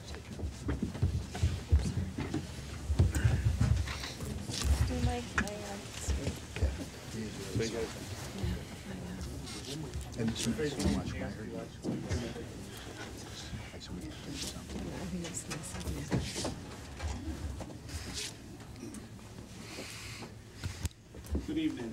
Uh, My name is Randy Daigle, and... uh, Good evening. My name's Randy Daigle. Um, Every time I've spoken and I was part of this organization that I'm going to be talking about, I've always said I've been fortunate enough to be the chairman of this building committee, and I truly take that at heart. Um, There's an old saying that nobody knows everything, but you surround yourself with a team that, and together we do. Um, I was fortunate enough to have Wendy Osada as my vice chair and panel members, committee members um, that supported and followed through with their obligation to this town. Um, some of us have been doing it for over seven years now for just this project alone. Um, it was a diverse amount of people, um, some in construction, some without, some parents, um, some business owners. Uh, But the one thing that we did, uh, we respected everybody's opinion. Um, me in the construction field, I see things a little bit different than somebody in a business field or somebody that's a that's a, that's a parent. Um, so, eh, we were. I was very very fortunate um, to have a such a unique building panel um, members, and at one at no point did any of them make a decision based on politics. There was never a Republican decision or Democrat decision. It was what was first, what was right for the kids what was the, right for the taxpayers and what was successful for the project. Um, and I just commend everybody that was on this committee and the liaisons. Um, a lot of them weren't here from the beginning, but those that were uh, chosen, uh, they volunteered to be liaisons. Um, they showed up and they, they were at the meetings and the information that they were able to bring back to allow you guys to support our decisions was second to none. So I appreciate it very much. Um, I don't know if Wendy wanted to. I just have one thing to add. Wendy Osada, 8 Windmill Road, um, and it has also been my honor to serve as the vice chairman um, for this committee. And then don't forget, more than seven years ago, because pre-ref was before that, wasn't it? Yeah. Okay. So it's been longer than that. Um, and I just wanted to say, um, echo everything that Randy said. We were a very diverse bunch of people. I did not know the first thing about construction when I started in with this. I've learned a lot since then. No, by no means an expert, but um, this entire town owes a debt of gratitude to Randy because I can tell you right now, without Randy Daigle as the chairman of this committee, we would not have finished, you know, ahead of schedule, under budget, and with the product that we did. So you're just, we're just extremely lucky to have had Randy, um, and that he was willing to serve in this capacity for us. So thank you. Thank you very much. Thank you. Thank you both. Okay. Thank you. Folks want to come? So you want to, Answer, yeah, let's call names and let's get everybody. you guys want to shake their hands, congratulate them?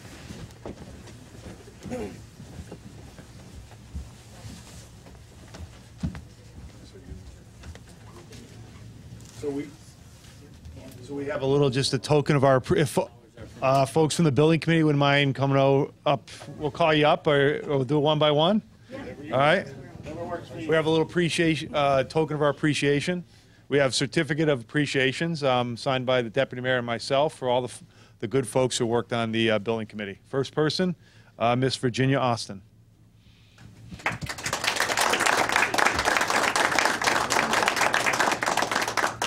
Uh, Mr. Jason Kilty.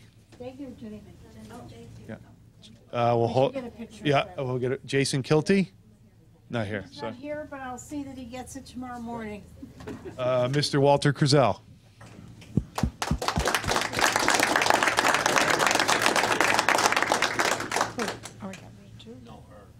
Did you get, did you get two? You got two there? You know, Walter started off as a, a committee member, and then he ran for the Board of Education, and he now sits as the chair and the liaison. Walter, how many notebooks do you have? He ran every penny, every financial. This deck is one on that. Yeah. So, so Walter, special thank you in recognition of being a member and then going on to the Board of Education. Well, On behalf of the board, I want to thank these guys, especially Randy, Wendy, and the rest of you, because you guys did all the work. I was just standing there filling notebooks, that's all. Okay. Yeah, we were going in alphabetical order. Randy Daigle?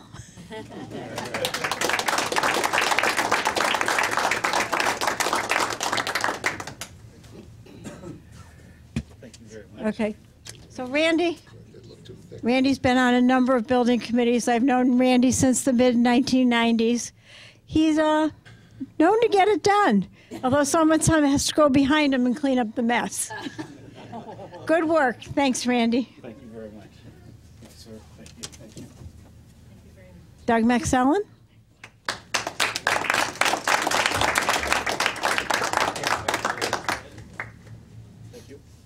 Again, Doug's another one of our people that served on a number of building committees. I've met Doug in the 1990s. He's done the fire um, building committees uh, for their additions to North Thompsonville, and he's helped the town out on the elementary and the high school.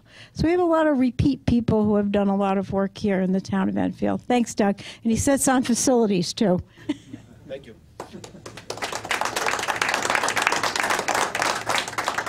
Have another person, Joe Muller.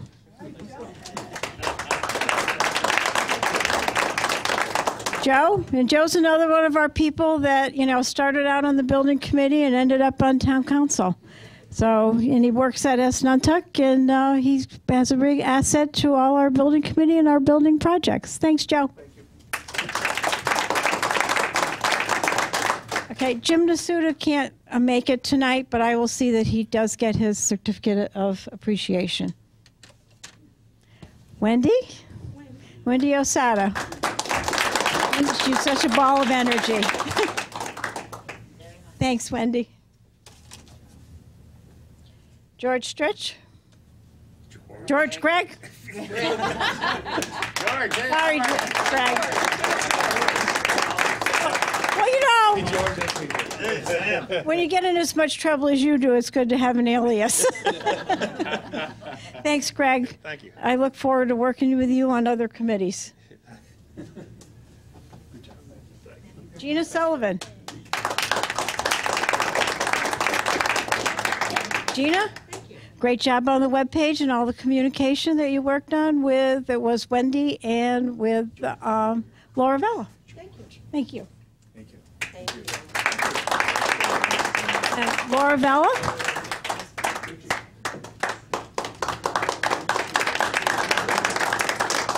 Laura, great job. Thank you so much. We have two people that won't be here.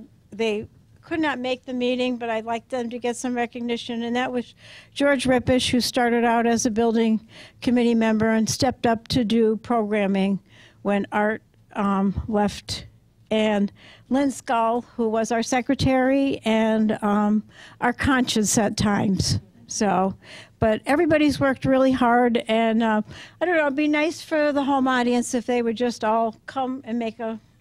Can I make one? You can make one more. Thank you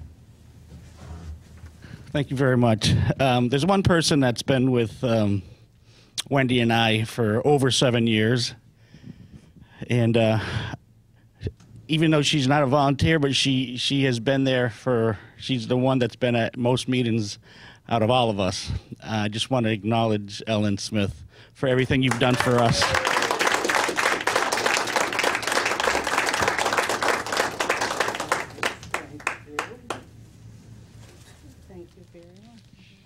Thank you.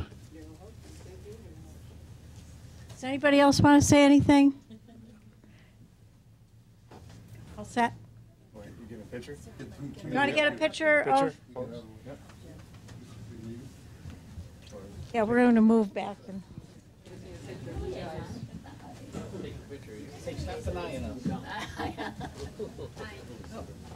if everybody kind of angles this way. Yeah, angle this way, you guys angle that way. Jim, you want to come up as a liaison? Yeah, Come on here. And we're going to give recognition to Tim Neville, who was our liaison from the Board of Ed. I can zoom in afterwards. Right. Everybody got 'em? I got like 10, so I'm good. Thank you very much. In case someone's eyes are closed during one of them.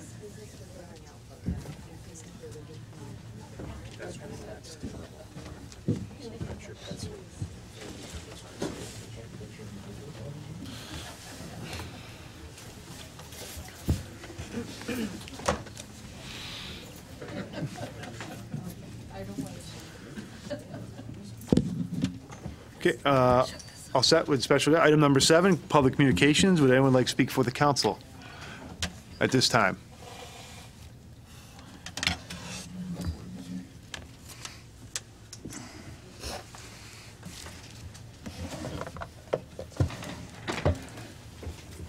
Walter Kruzel, 21 Charlie Road. Simple. Happy Thanksgiving, everyone. Thank you. Anyone else like to speak for it? It's tough to follow. Anyone else like to speak on public communications? Hearing none, uh, declare public communication closed. Item number eight, council communications. Would anyone like else, would a coun- does a counselor have anything? Uh, Do we have a, Councilor Muller? Real quick, I served on the building committee with everyone, and it was a true honor to be on the committee. And all that wouldn't have been possible without Randy and Wendy. Thank you, and everyone else. Thank you. Thank you, Council. Councilor Ungary. I want to thank the building committee for all their hard work, and thanks for coming here tonight. Um, I wanted to announce about the Wreaths Across America ceremony, which is going to be Saturday, December 15th at 12 noon. It will be held at St. Patrick's Cemetery in King Street in Enfield. And this ceremony will be simultaneously with the same ceremony in Arlington to honor, honor our local heroes. And if you'd like to RSVP, you can to Vinnie Grady at vinniegrady at cox.net. And if you'd like to purchase a wreath, you can go on the web with wreathsacrossamerica.org. Also, First Readers had their ceremony, and they awarded all the certificates uh, to the kids. It's, uh, it's a really a, a fun event, and it's very rewarding. Uh, their next ceremony will be March 11th. Also, they're going to be having their trivia night. Uh, it's their one big fundraiser of the year, and that will be February 23rd. And I'd like to wish everyone a very happy Thanksgiving. Deputy Mayor Suzak? I'd like to make a motion to suspend the rules and move items E, F, G, H to miscellaneous and proceed to vote. Second. Motion by Deputy Mayor Suzak, seconded by Councilor Denny. Any discussion on a motion to suspend the rules and move the miscellaneous? Hearing none, by show of hands, all those in favor? Those opposed? Everyone's in favor and zero against. Anything else for council communications? The only thing I'd just like to add is that uh, I know we're here, but um, tonight was the football team are back in almost Thanksgiving Day football was tonight at, at Enfield High, which the game I think kicked off at six, even though we're missing it. But again, good news is that we now have almost Thanksgiving football back in the town of Enfield. So hopefully they're winning, and um, again, it'd be nice to kind of beat South Windsor. Uh, not a big fan, but uh, you know, that'd be nice. So that's that's it. And the only other thing, too, last thing, uh, the the snow was real heavy on Wednesday. It seems like a while ago, and I know again I see it all the time. Pe- neighbors helping neighbors out with snow blowers. It was a real heavy snow. Again, nominate those neighbors who help you out. We want to honor those folks. Now, the same people who helped you with the leaves. Again, I know this was a very heavy snow, and it's tough for some people to be able to move that snow if they don't have a snow blower. So nominate that neighbor who helped you out during this storm. Um, item number nine, town manager's report. I have no formal report. I am available to answer any questions on the PAR. Any question, any questions for the manager? Councilor Muller? Is there an update on the light poles on Palomba? There was three there. I know we had an update we passed on from Director Nunes, uh, why there had been a slight delay, I think, in ordering. Well, I can get an update for it forward to you uh, tomorrow. Thank you.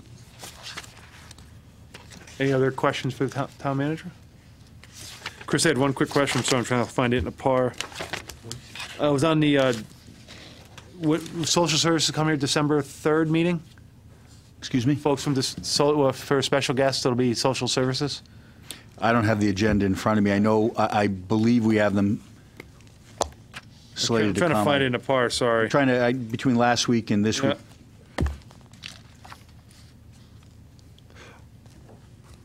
Oh, uh, so my question is, so can we make sure if we're going to have the, whenever they're on the agenda for, that um, we can hand out the Enfield Cares? We've gotten, uh, so we've gotten some questions on if people want to voluntarily sign up, you know, to, if there's an emergency, we have, I know we've got some questions, and I know Don All right, so you- you've reminded me, what what we were going to do, I believe there are special guests continuing with, you know, education and- and and presenting different programs. I believe we're all, we're, I don't have Donald Nunes here any longer this evening, but we're going to be doing a presentation on the snow removal. And I would just say, you know, it wasn't a major nor'easter, uh, but it was challenging in its own way. Uh, And I think Public Works, they did a very good job uh, for us, unlike New York City. So I guess it isn't as simple as it looks. Um, And they kept up me updated, and I was able to keep the council updated, so I was appreciative of that. Um, And what we'll do, they'll be here for that, to give a special presentation. And uh, Social Services, Dawn has headed up a, a group for me in regard to updating you on our shelter provisions. Right. So that what we're going to be doing, and part of that is Enfield Cares, it's, it's about two or three parts to it. One is we can have people sign up with special needs. We're going to do uh, that and uh, through the police department so they know when, if a storm event occurs, what to check on people and be able to check in with them. Um, and she updated it. It's a really nice uh, um, program that she's proposing.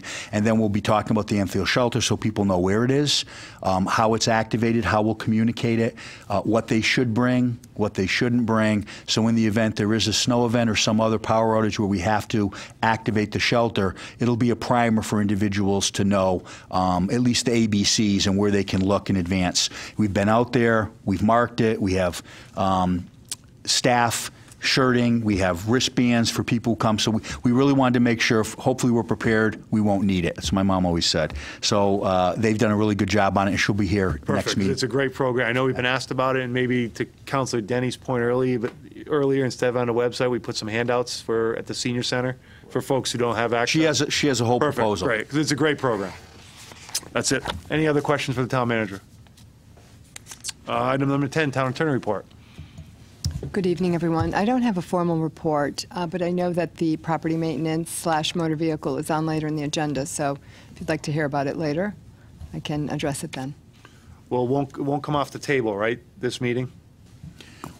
What we were going to do, uh, our uh, plan was, um, the council had asked that she have a, a a workable draft for today. So you can take it on or, or off the table as you deem appropriate.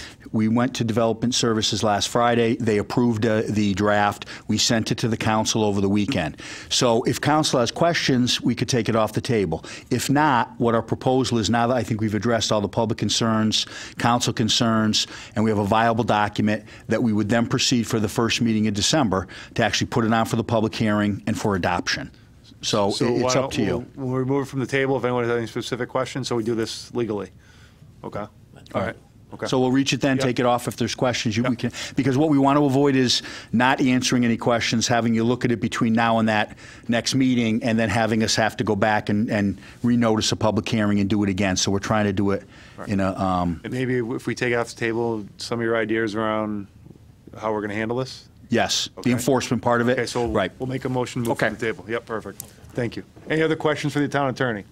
Not Next. Thank you, Maria. Item uh, 11, report of special committees of the council. Uh, Counselor Falk. Uh, Development Services met last week, and uh, as the manager just said, we talked about the um, the blight ordinance and the- the associated with the automobile ordinance. um, And uh, I think a copy was emailed out to all the council people, so you all have it. Uh, I I would hope that we would have a discussion about it tonight. You can take it off the table, we'll talk about it, because there's some changes that we made, and uh, others may have some additional changes they would like to make. Uh, We also talked a little bit about the TIF. Uh, We're st- still moving forward with uh, preliminary um, type of policy or or for specific TIF zones. I know uh, we talked about Thompsonville, the possibility of setting a TIF in, in other areas of town such as Hazardville or Scitico. But uh, right now, we need to, to draft one to get accustomed to what it should say and how it should be set up, uh, so we can move forward with that. And um, town attorney's also been working on, I think it's the town attorney, or, or maybe it was the planning department, the tax abatement policy. That was yours, right? We, we, we had uh, drafted a policy for tax abatement uh, merely as guidelines, and I, and I brought that up because of the fact that uh, we typically, as a council, would address those on a, a per uh, case basis. But the average Joe or average business out in town doesn't even know the policy exists. So I suggested that we had some guidelines available somewhere on the town website or elsewhere so that these people would know that the program exists so that they could at least ask or inquire or apply for it, and then we can consider their specific uh, needs at that time. So uh, that was in, in, up for discussion, and, and we'll have more discussion on that at a future date. Thank you. Counselor Danny. Public Works, want to say anything? Uh, Well, the Novak, we went over the Novak uh, uh, report. Uh, It's going to be tweaked. Uh, We talked to the people at Public Works. They have some issues with people that they might not need that the Novak represented. Um, I I think we're going in the right direction with it. Uh, There was talk about uh, an extra vehicle because of PM, and they're looking, and we're looking into purchasing a used trash truck, so uh, they're talking about uh, no night shifts and so forth and so on at Public Works. Um, I guess that basically, Donna, you got Well, mainly- else? I miss something? Percentage of trash. Really have to, I think they're so going to. Okay, go ahead. Yep. Sorry. Go ahead. Um, I'm going to. Just want to make sure he was done on the floor. Go ahead. It's looking for us to, to throw in a few comments, and I guess the fact that we need to be really conscientious about our recycle. Recycle costs us ten dollars a ton, trash costs us seventy dollars a ton. A sixty dollar differential is huge, and we have to be really conscientious about what we do. And we looked at um, higher tipper fees, and we also looked at um, maybe limiting how much people can throw away as trash. You know, you get one can and you got to close the lid. So we're really looking at how do we do this better? How do other um, people who provide trash, how do they function and how do they get, you know, the people who use their services to be reasonable about their use? And we're also looking at Gotcha. higher tipper fees at the dump, at the transfer station. So I thought it was a really good representation of the Novak report. I thought our staff did a great job of looking at everything. And, you know, putting a spin on it that this is, this could work in Enfield and maybe with a little bit of um, tweaking, it could work a little better in Enfield. Counselor Bosco. ultimately, we uh, took the whole Public Works and we turned it all upside down and we're starting fresh. Uh, We're going to make all new ordinances for trash to make it as efficient as possibly. Um, We looked at how our garage runs to make that run as efficiently as possible. So we're, we're, we're, we have a big task. It was over a two-hour meeting, and we looked at everything in DPW, and um, we're just going to restructure everything, including water pollution control. We looked at all that, and it's all going to be done to, to get our biggest bang for our buck and to get the most out of what we have, and to be able to offer the best services to the residents of Enfield at the lowest cost as possible. And the only way we could do it is to look at it completely new with fresh eyes, and, and that's what the committee did. So uh, we got a lot of work in front of us, and but we're gonna when we get done, it should work out better. And uh, some people aren't going to be happy, other ones are going to be tickled. But we it's it's survival mode right now, and we need to keep things as tight as possible because we can't afford any more tax increases. Thank you. Thank you. Anyone else? Counselor Unghire. Uh, I'd like to say I've been attending the meetings with the Enfield Together Coalition, uh, and they're working with youth services Um, Enfield Together Coalition is working for a drug-free community, and right now our focus has turned to the faith-based community, and we think that's really an untapped resource. And so we've had meetings where we've invited a representative or leader of all the churches in the town of Enfield, and it's it's been very successful. We've had several meetings. Um, the attendance is strong, the interest is strong, and so we're working on uh, prevention with our young people. That seems to be the key. So I'll keep you posted on uh, what our updates are and how it's progressing. Great. Anyone else? And I'll just say, again, this is all, both parties, all- everyone in the council, this is their personal time, and they've done a, gr- everyone's done a great job going to the subcommittees. We've gotten a lot of work done and started, which puts us in a much better place going into the budget next year, no matter what happens with our funding from the state. I mean, I- again, the, the members of both parties in the council are taking time out of their day and their work schedule. These are things during the day, and so again, I, rec- I commend everyone, of course, the staff as well for being willing to get down and do some work. This is a- just another piece of work that you know, both parties are doing to kind of, again, prepare and to try to, to Counselor Bosco's point, to provide the best service at the lowest cost. So again, I I commend everybody, because I know it takes time out of your work schedules and your personal schedules. So again, thank you. Uh, Item number 12, old business. Um, Item A, appointments 1 through 3, we have none. On page 2, appointments, town council, items 4 through 17, we have none. Page 3, town council appointments, item 18 and 19, again, we have none. On page 3, item B, appointments, town manager, items 1 through 12, we have none. Items 13 and 14, again, we have none. Item C, discussion resolution to adopt amendments to the Enfield Town Code, Chapter 38, Article 5, Sections 38-141 through 38-145 inclusive. Do I have a motion to remove the table? By Counselor Falk, seconded by Counselor Deni. All those in favor of removing from the table by show of hands? Those opposed?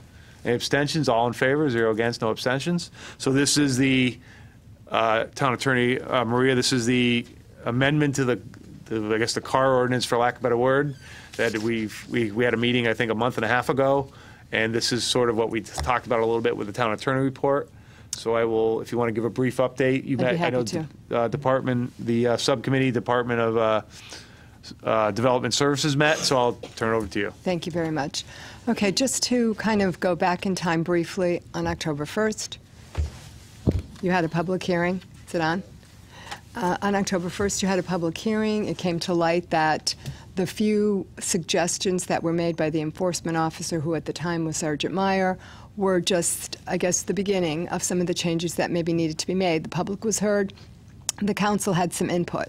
So in the aftermath of that, we were directed to look at making some of the following changes. And just bear with me, some of this is a little bit detailed, but I just want to set the stage for why what you had in front of you over the weekend did not mirror what was discussed in the aftermath of that October 1st meeting. So people talked about the unmanageable title. They were concerned about the definitions of inoperable and un- unregistered and unsightly. Um, The discussion around deleting registration was brought up because the real issue was junk cars. There were concerns about whether or not then you would be able to get the tax money. There's still an obligation to have taxes paid. Uh, One of the residents uh, noticed that the unsightly materials section was really redundant to have it in that section since property maintenance already had jurisdiction. There were some concerns about possibly including a permitting requirement. There was an interest in having more enforcement of motor vehicles be like property maintenance, so that it would be removed from the police and be brought over to property maintenance. There was also concern around including something like a blight review committee, and that, that phrase has come up a number of times, and I don't want to spend a lot of time on that right now because that's going to be something for the council a little bit further down the line. So we met with the town manager and his staff. We discussed all those changes. We were directed to make some of them. The Development Services Committee, this was in the October 9th meeting, totally thought that that was a good idea as well. So we went about to make those changes. We revised the existing abandoned, unsightly motor vehicles ordinance. When we sent that around in early November for staff comment, we got back a really good idea that was quite simple, but did not necessarily address all the other issues that I just mentioned.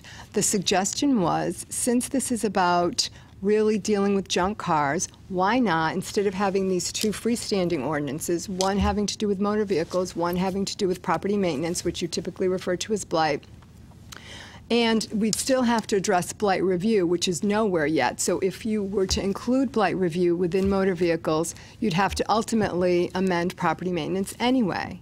So the suggestion was, rather than doing anything with motor vehicles, why don't you just put motor vehicles into property maintenance and repeal motor vehicles? So it simplifies a lot since the enforcement was to mirror property maintenance. And, and what was happening is, as often is the case, when these ordinances get done in a piecemeal fashion, you know, over the course of 5, 10, 20 years, they, they're trying to do the same things, but they have different drafters. They don't really look the same. It makes it very confusing. So once the suggestion was made, and that too was brought to the manager and to development services, and there seemed to be some support for that. There were also changes recommended by enforcement personnel, and those changes are reflected in the draft that was sent to you over the weekend. And the draft that was sent was really revising property maintenance. Um, the other suggestions that were beyond the scope of mirroring property maintenance were just tweaking some of the things that enforcement personnel have had an issue with, and they're very early on. Things like some of the blight definitions, they're in red expanding the, for example, the area of exterior wall rather than being 25% to having it be 50%. And these are just things that the enforcement um, inspectors have seen come up repeatedly. So they, we inserted um, definitions that were related to motor vehicle that we had had in the motor vehicle ordinance. And we also added the blight review. So in response to the draft that was sent this weekend, we did get a couple of comments back from the deputy mayor, uh, and, and they were related to some of the language in motor vehicle and also clarifying the area where there is an exemption. And one of the things that the councils through the years have always been consistent about is if someone is buying a property and wants it to wants to remediate it, they shouldn't be punished or if it's something where um, they're going to require a special permit, then to have a fine be accruing while they're trying to remedy things by either getting a special permit or building permit, it's just patently unfair. So the language related to uh, special permit and excuse me, exceptions is in 14185. And so that's been just clarified. There's nothing substantively different about that. It's just clear that if you if you have that need to get a permit or if you're a bona fide purchaser, you get this additional 30 days. And since it was originally it just said 30 days, it's not really realistic to expect to be able to get your permit and everything wrapped up within 30 days. So then you would have another 30 after that. It's just clear that you went ahead to get, to, you've gone through the process and you're trying to get the permit. And for those um, kinds of violations that don't require a permit, something that just requires lawn mowing, you just get your 30 days and that's it. So I don't know if you have any specific questions about this one. Um, to the extent that some of the concerns of the motor vehicle ordinance were not addressed in here, it was, the, and I'll let the town manager speak to it, but he felt that you could at least, um, some of those things can be addressed in other venues later on. But in terms of just streamlining the process and moving this ahead without a lot of difficulty, this might be the way to go. So if you have any questions, just let me know. No, I would just like to thank um, the town attorney's office and all of the people from development services, the committee, and all of our our staff and our blight officers. This was a lot of work. It seems easy, it's not, because when you do one thing, it opens up something else. It's like opening Pandora's box. But I think as it evolved, it, it seemed we've always we talk about consolidation. Let's streamline things. Let's make them simpler for people to understand. This accomplishes that. I would uh, add what Peter said at, at the subcommittee meeting. It's never going to be perfect, but we've got to start someplace. I think this is a heck of a good start. And two of the most important things that it addressed, two of the most important concerns I think council had and even residents, for it to have teeth and the previous give a ticket, give a ticket, walk away wasn't giving it teeth. Two, police are very busy doing other law enforcement things, and we really shouldn't be taxing them with this responsibility when we get a, a lot of different officers who are new going out there who've never done it before, so you get inconsistencies, and the public gets a perception they're not interested in doing it. It's not that, but they want to be doing police work, so we're taking it away, giving it to Blight where it should be, uh, and also the Blight Review Committee. This gives us an opportunity to, to put this together, and after the administrative is done and people have nowhere else to go, they then, according to what we've sent to you, and you can fine tune it, they can come and plead their case of hardship for whatever reason, um, illness, handicap, whatever it is, to the council, and you can be a court of last resort for them. So I think it accomplishes a lot. Um, it's not perfect. I like the saying, don't let the, uh, you know, perfect be the enemy of the good. This is pretty darn good. Um, we have time now for you to look at it and we can receive any other input because as Suzanne says, we can't put it on for the first meeting for the public hearing. Next meeting, we would set the public hearing. So we still have that window to get some input from you. Again, we've left some things out, but be not afraid. We're going to reconvene. I, I'm going to tell you truthfully, we sort of took a hiatus from the blighted properties, our top 10, and we were really focusing in like a laser.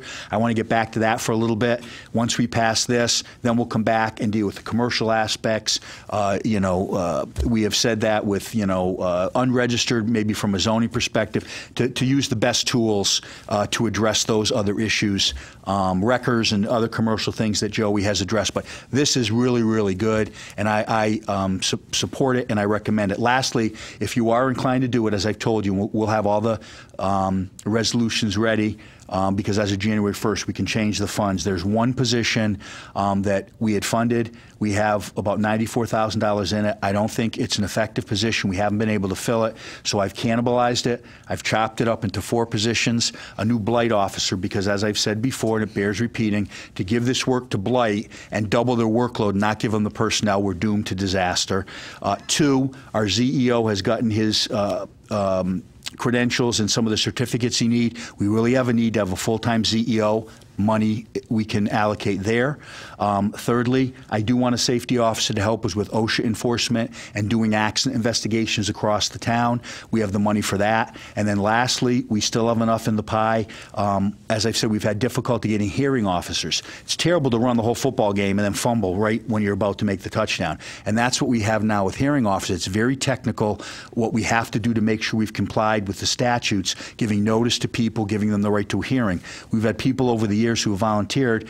Quite frankly, it's like the old gray mare. They're just too tired to do it, and they're not getting compensated. Some of them were, you know, local lawyers who did it as a volunteer, but they were actually losing money because they're they're paying their secretaries. It'll be a modicum. We'll open it up. There's nobody pre-designed. We'll let people apply. They just have to be able to do it, um, and we'll do a stipend to do the hearings under these ordinances. So now we know at the end we will get it over and across the finish line. So I think it's a heck of a package, um, and I hope that you'll uh, fa- move favorably on it. We can again wait till the next meeting for any other comment. We could try to incorporate them or discuss it with you, but otherwise we'll set the public hearing and do it in December. And again, this is another promise kept by the council and by staff. We looked at this, and you know what? We could have rushed it. We could have just done a couple of little changes, scrivener changes that you know would have okay. We did it. Uh, the case law, the police. We didn't do that.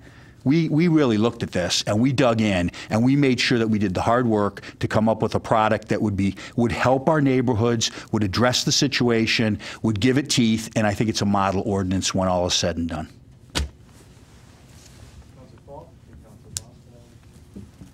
I just wanted to thank uh, Maria and, and Chris for a great job, plus all the uh, the backup staff that supported you in, in putting this together. Uh, and as I mentioned at the meeting Friday, uh, th- there's no perfect document that's going to cover everything. Uh, so we could consider this like a, a living document. You, you approve something, give it a shot, and if you have problems, you can change it. But you, you got to move forward and you got to start somewhere, and, and this is a good start, and, and I'm totally in favor of it. Thank you. Council Bosco. I haven't had a chance to read it yet, but farms stay the same? Actually, they were included as an exemption. Okay. And uh, we'll go over we'll get, uh, the other stuff. So what happens in the meantime now? We don't, we don't enforce what, what we haven't finished up on the commercial side? I'm not sure I'm following you. Well, is, does that, does the old ordinance? It's still in sort of effect. Stay in effect? It's still in That- I effect. Right, what- everything is, uh, everything is So everything else status quo. the same except for the stuff we changed? Right. Okay, good. Any other questions? I think setting, the- this should be on the agenda, Well, I know we'll talk about it, but yes, setting a public hearing. And again, I, and I know Maria and your staff took a lot of time doing this, and I, and again, it gets Counselor Bosco's long-waited blight board, you know, again, an appeal process, which I think some members of the community actually mentioned at the public hearing. You know, I mean, I think so, to your point, nothing's perfect, but give you credit for listening to the individuals who came to that meeting, who again rightfully have been frustrated over the years that we've sort of, I don't want to use the word we didn't enforce it, but maybe whatever. I'll you leave the word whatever there and, and call it and leave it at that. But I also agree with you, it shouldn't be a police matter. It makes complete sense to move it into zoning where it belongs, let the police do their job, you know, and, uh, you know, let us, you know, enforce the zoning laws. So I think it's, I think it's a great step, and I, I read- through it quickly, so I'm sure I'll have questions, but I, I I appreciate the fact, I know you put a lot of time into it. Deputy Mayor Szewczak.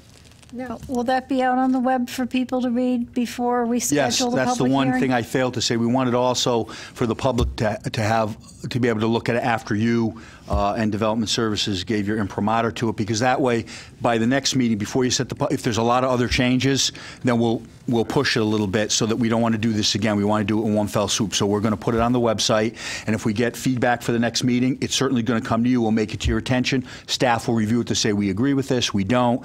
You'll make the final decision to the language, and then we can set the public hearing that night. Perfect. Thank you, They Deputy did- Mayor. They really did do a great job. It's really a great, um, and also it gives rights to people that are in adjacent properties, because sometimes it might not be visible from the street, but it certainly is not sightly. Do I have a motion to move back on the table? Make a motion. Counselor Bosco, seconded by Councilor Deni. All those in favor, keep it on the table? Any opposed? All in favor, zero against. So we're good. Item 13, new business. We have none on the consent agenda. Appointment, B, item B, we do not have, that's not ready, right? That's not in our packet. Item C, no appointments for the town manager. No, and item D, no planning and zoning appointments. Uh, Commission appointments. Council approved. Uh, Item 14, item, items for discuss- discussion. Item A, we don't have any consent agen- agenda. Item B, appointments by the town council, we have none. Item C, appointments by the town manager, again, none. Item D, P and Z commission approved, council approved, appointed, council approved, we have none. Items E, F, G, and H have been moved to miscellaneous. So we moved to item 15, miscellaneous, and we have item E, request for transfer funds for police services stipend. Sorry, one second, I will get there. Okay, so this is Resolve that in accordance with Chapter 6, Section 8F of the Town Charter, the following transfers hereby made. To police services from overtime, 1-2-00500-514-000 of 11700 From general fund revenue, grants other state, grants other state 1004-0000-46001 of 11700 Certified the funds are available on November 9, 2018 by John Wilcox, our Director of Finance, approved by the Town Manager, Chris Bromson, on 11/14/2018. So moved. By Counselor Falk, seconded by Deputy Mayor Szewczak. And this is just simply for the click ticket, click and click it or ticket. It's 100% reimbursed. It's a grant, and there's no budget impact. We do this twice a year. They want to be able to do this in November and December. I'm assuming no questions on this? Hearing none, roll call, please. Counselor Bosco. Four. Counselor Cekala. Four. Counselor Deni. Four. Counselor Falk. Four. Mayor Ludwig. Four. Counselor Muller. Four. Deputy Mayor Szewczak. Four. Counselor Unghire. Four. Eight in favor, none against, and no abstentions. Item F. I'm sorry, one second.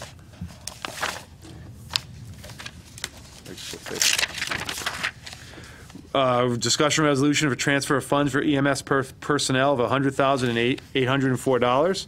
Resolved in accordance with Chapter 6, Section 8F of the Town Charter, the following transfers hereby made. From account 108-00092-584-000 of $100,804, unallocated charges contingency, from account 2524000-48001 of $100,804, EMS revenue general fund transfers to account 108-00092-593035 of 100,804.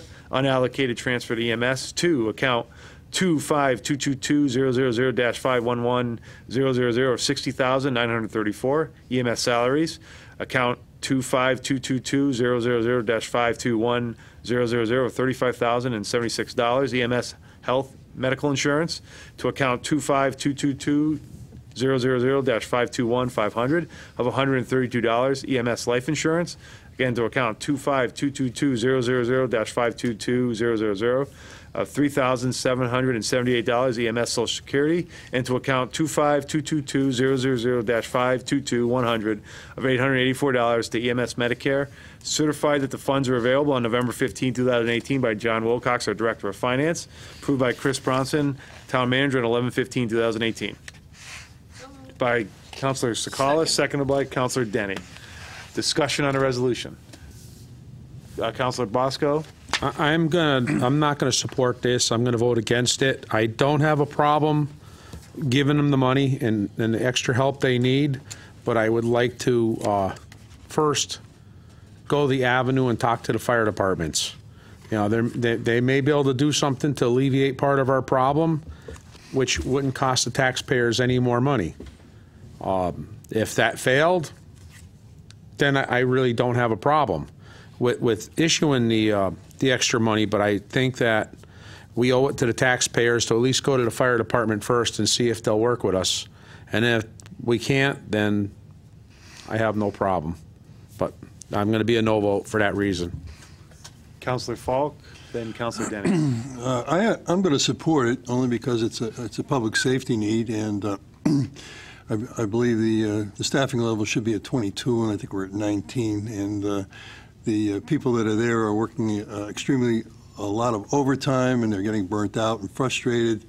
Um, so I'll- I'll, support it, but I, I do want to follow up on uh, Joey's comment about the fire department. That's an untapped resource that we have. We have uh, five fire districts in town, uh, fi- six firehouses in town, randomly strategically placed all over town. And I think if you were fully staffed, the most you're going to put out is four ambulances on first shift. And you have a total of seven ambulances that are sitting there doing nothing. Those could be at a firehouse somewhere, and those firemen could be driving them to the scene. And they could also be driving, I, they wouldn't have any paramedics, but they do have EMTs, and they could support the paramedics of the town uh, while maybe driving the ambulance to the hospital instead of sending one one of the EMTs or paramedics to drive to the hospital. You could have a fireman drive to the hospital. So there's some potential there to get them involved, and I would hope that we would start having some discussion with them about possibly helping out and getting involved in the EMS program. Thank you. Thank you. Counselor Deni. Well, I'm going to support this because right now, I don't want to delay it any longer, and maybe the fire department is a good idea, but we already had a res- another resignation, and we're not able to uh, put four ambulances on, the- on the road during the day. We're lucky we're having three. Sometimes we're having two. Uh, Lately, we've had uh, ambulances from out of town and also from Hartford. So if you're laying on your floor, uh, to me, it's a public safety thing, and I'm supporting it. Thank you. Counselor Unghire. Um, I'm going to go on record as supporting it for right now. I think um, the EMS, that whole crew is being overworked and they're fatigued right now, and um, perhaps we can help get them out of that and then relook at it again with next year's budget and address the fire departments. Anyone else? My, only issue, as we've talked about, is this, it's a budgetary issue here that, and again, it's not anyone's fault other than how we went through the budget. And I, I take budgeting very seriously and, and I'm sorry, I, I, it, it drives me nuts when we get recommendations and then we find out mid-year that it's, you know, it's an emergency and, and so I I have to admit, I have a little bit of cynicism to me, and I know that's probably not a good thing, but that's just the way I am. And, and really, that's what, I mean, I think that's what bothers me about all this. Not that I understand the, the safety issue, and I agree. I mean, if we're going to provide the service, we got to do a good job of providing it. But I think there's things that the people in town need to understand that, again, we're, we are running a deficit, and that's part of the issue. And, and I think, you know, again, as we're going into, the- every budget's tight, that people need to understand that, you know, there's things that we're not going to be able to collect, even with a full staff, that we're not willing to collect. And, They need to be understand if that's a service we're going to provide, then we're willing to, again, to subsidize the taxpayers with it. That's all I want to make sure people understand, that we're going to be subsidizing this to provide this service. That's my only, you know, my only stance on this. Not that it's not a needed service, because it is, but everything's needed in town. So, uh, you know, and I- I'll just leave it at that. Deputy Mayor Szewczak and Town Manager. I am going to support it. Peter said it best. We need to reach out to the, to fire departments. Goes against my grain to use unallocated funds to pay salaries. If I have to use unallocated funds, I really like goods that, that are going to stay for, you know, a number of years. And I think everybody out there needs to understand how this council works. This council works that if we don't get six yes votes, it doesn't pass. It isn't a majority thing. It isn't, you know, a split.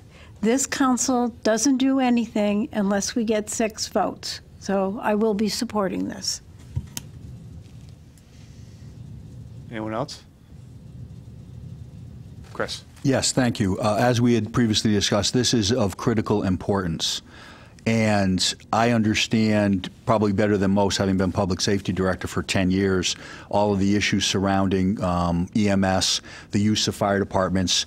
You know, I was critical in bringing them on as a supplemental first responder, getting medical approval to do that. They weren't allowed to, so that they are on our license uh, during the day. But one of the deficits, and what you must understand, is the state regulates our license and has to approve major changes to it. It takes a long time. It's not going to happen in the short term. And number two, one of the critical components here is we run a 24/7 operation, paramedic level service. The fire departments, for most um, uh, of the departments, can only provide assistance during the day. So you've got to provide for your residents at night, and that's one of the reasons they, you know, basically are doing the supplemental first responder. And I'm open. We meet with them every couple of weeks to discuss it, but we can't wait for that discussion to conclude. So I know Joy wasn't um, present during the last discussion where we discussed this more thoroughly. I would just say if you really think you don't have the votes to do it, I know that Councilman Arnone and Crissati do support it. I would ask you to table it and bring it back because if we don't do this tonight, we have lost another um, paramedic. We are not only staffing um, less than four ambulances. We're not staffing three. Some days it's two. And, you know, staffing, you have to look at it. Police, it changes. It changes with EMS. But we had 22. Um, they had said frozen positions in the last budget. Let's look with some going less. And now we've seen over the period of time that we've gone, we've dropped down, that we can't address the call volume. So we're relying on mutual aid, which means your residents are waiting now um, on a regular basis for ambulances coming from Hartford. Do you want your family to wait for an ambulance to come to Hartford in an emergency? I, I'm, I'm not going to be the one to tell them that we decided against that and that they're going to have to wait. This is life and death. I'm not exaggerating it. I'm passionate about it, but we have seen, we've been including it in the PAR every week. We've had an increase in call volume. We have less people to go. We've had eight workman's comp injuries because people are working um, so many overtime shifts. They're fatigued. And as we've seen, somebody left as a result of the work conditions. So I didn't want to have to say all that, but it's that critical for me to prevail upon you that we need to do this now. I promise I will talk to the fire departments. I'll look for other ways.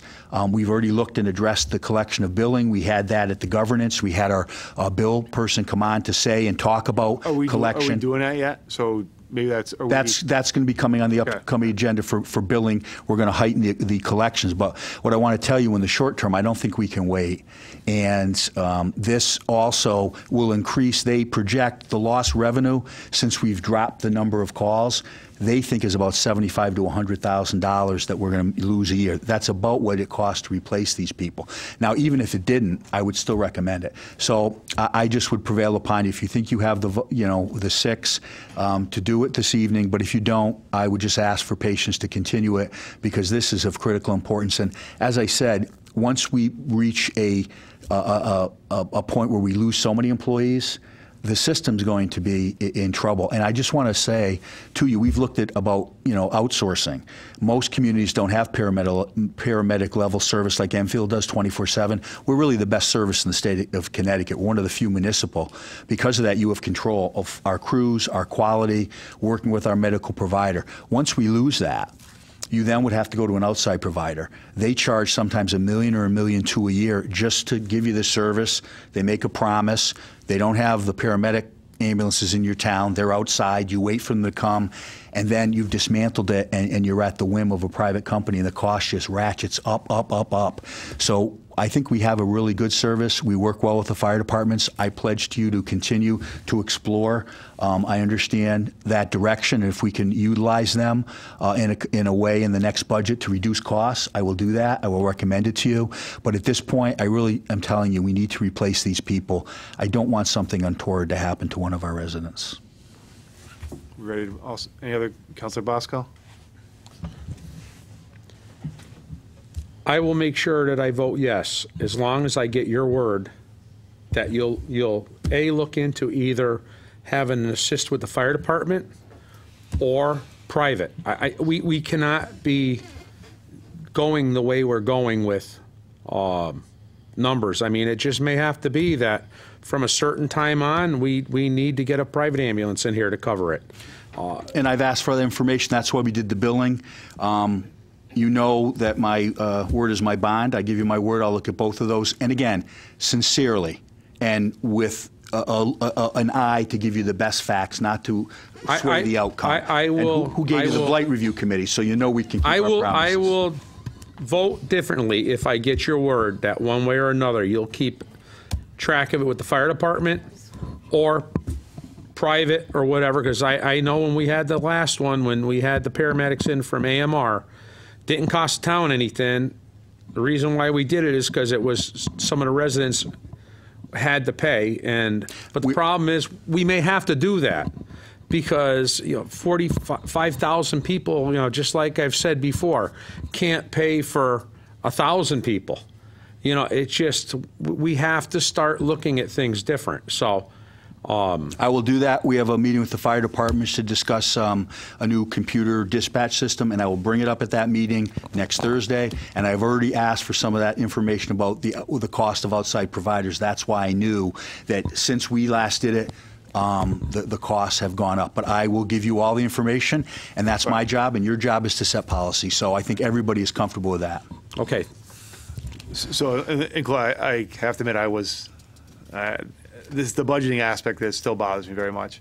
At some point, may- maybe this is for budgeting, I also at some point want to see a five-year history of our, of our workman's comp and disability claims. For the whole time, I'm not trying to, but I think we need to compare ourselves to other towns, because I think, and we do hear that as a common theme, that we have a lot of people on disability. Well, you know what? Yeah. We, sh- we should look at the ambulance too, because if. But it's all in something- together, yeah, I said Right, it's all together. it- it- Have their numbers, because if something has to happen and we got to go private. Right. Again, this way, we know what the actual Right. savings would be to the town of Enfield, because we wouldn't have the workman's comp anymore. Right. And thank you for your explanation. And I'll get that information as well. Thank you for your consideration. Roll call, please. Counselor Bosco. Four. Counselor Cekala. Four. Counselor Deni. Four. Counselor Falk. Four. Mayor Ludwig. Four. Counselor Muller. Four. Deputy Mayor Szewczak.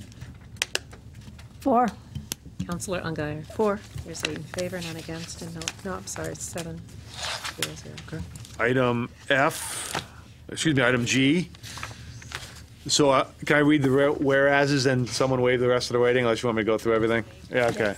So I, uh, re- I- item G, resolution to establish the John F. Kennedy School Renovation Building Committee.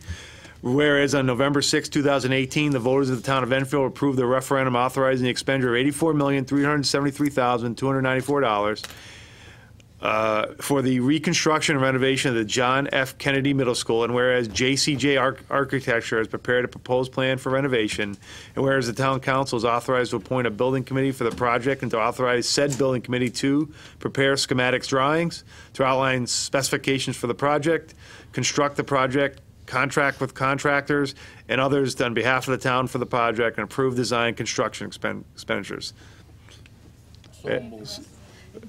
Moved by Counselor Deni, seconded by Counselor Cekala. Uh, I- So I don't think we need an explanation on, other than this is to establish the John F. Kennedy Building Committee that was passed, the referendum was passed. So I, I don't know if there's any specific you want to uh, address here, other than No, we're going by the same time frame we use in the successful high school project, and I think it was so uh, wonderful and fortuitous that you were honoring the building committee from the high school because they are the uh, role model for how we should proceed, the template for this, and I hope you are able to attract just as many dedicated uh, people to that committee as you had on the last one because I think it would ensure our success, and I'm just glad that we're so close in time that we have an example of the way to do it right, and we can use that, as I say, for a blueprint with JFK going forward and make that a success too. Councilor Falk? Just out of curiosity, how, how is the, um, the membership going to be uh, determined? For the public, so they can hear it on TV? If you want to read, I don't know, basically, we're going to, I don't know if you want to read it, or it has section two to Councilor Cekala's point. Building committee will consist of nine regular members, two alternatives to serve at the pleasure of the town council. The town shall designate the- chair of the building committee. The committee shall designate its vice chair and secretary. The committee shall act as a school building committee, as a school building committee for the project pur- pursuant to Connecticut General Statute 10-291 for the applicable regulations of the State Department of Education. There should be four non-voting liaisons to the committee as follows: two members of the town council, two members of the board of education. The town manager may appoint staff liaisons as he, de- as he deems appropriate. Any committee member who is absent for three consecutive meetings shall be deemed to have resigned from his or her seat. So all applications for this go through the town manager like? Yes, the what we other- were, we were waiting, we actually had already put up on the website that there's Right. going to be a building committee. Uh, We didn't want to actively solicit um, applications until you approve this, Mm-hmm. and that will go up again tomorrow. I hope with all the things we're putting on the website, it doesn't crash, Um, but that was our intent, So- and we'll, we'll do a press release too. Press release, right. And we were, we were waiting, the mayor asked me about this, and we said, we don't want to get ahead of our uh, wagon until you approved it. We didn't want to. Mm-hmm. Okay. And we are, we are looking for construction-related experience, if possible. Right. Thank you. Anyone else have any questions? Hearing none, roll call, please. Counselor Bosco. Counselor Cekala. Four. Counselor Deni. Four. Counselor Falk. Four. Mayor Ludwig. Four. Counselor Muller. Four. Deputy Mayor Szewczak. Four. Counselor Unghire. Four. There's eight in favor, none against, and no abstentions. Item H, I don't have a resolution. I I don't have, oh, you just, oh. Thank you. Thanks, sorry about that. I got it. It is. I- I'm sorry, item H, I apologize, folks. Discussion resolution of Patrick Ward versus the town of Enfield. Resolved to approve settlement of the litigation Captain Patrick Joseph Ward versus the town of Enfield et al., docket number 18-2195. Be it resolved, the Enfield Town Council hereby provides its consent to the town insurers, CIRMA and Travelers to settle a matter of Patrick Jo- Joseph Ward versus the town of Enfield et al., number 18-2195, in the amount of $30,000 pursuant to the discussion with the town's legal counsel in executive session on November 13, 2018, prepared by the town attorney's office on October 25, 2018. Motion by Counselor Falk, seconded by Counselor Deni. Any discussion on the motion? Counselor Falk? Uh, Just a question, I, I believe the uh, town is responsible for paying 25,000 and the insurance company picks up the additional five out of that 30? That's my understanding as well. Okay, thank you. Counselor Cekala? So, I have a lot to say about this, but I will try to limit it to a little. Um, this is one of those situations where, like, it keeps you up at night, um, having to figure out how you're going to vote for something like this. Um, the way you feel morally and what's right is not exactly the way that you're going to vote because it's not as responsible fiscally for the town of Enfield. So I need people to understand that this is not an easy decision. Um, believe me, nobody wants to try some of these cases more than me. but it's not always in the best interest of the residents of this town to fight something that's going to cost exponentially much more to fight than if you settle it. Um, makes you feel icky. Like I said, keeps you up at night, or at least it keeps me up at night. But in the end, it's the financially responsible thing to do. Pro bono? I do this pro bono. Well said, well said. Anyone else? Counselor Bosco? If this goes by what the other things went, we already spent this $25,000 already anyway. So it's not like the town is going to be paying additional 25. We already ate that 25 up. We're already paid.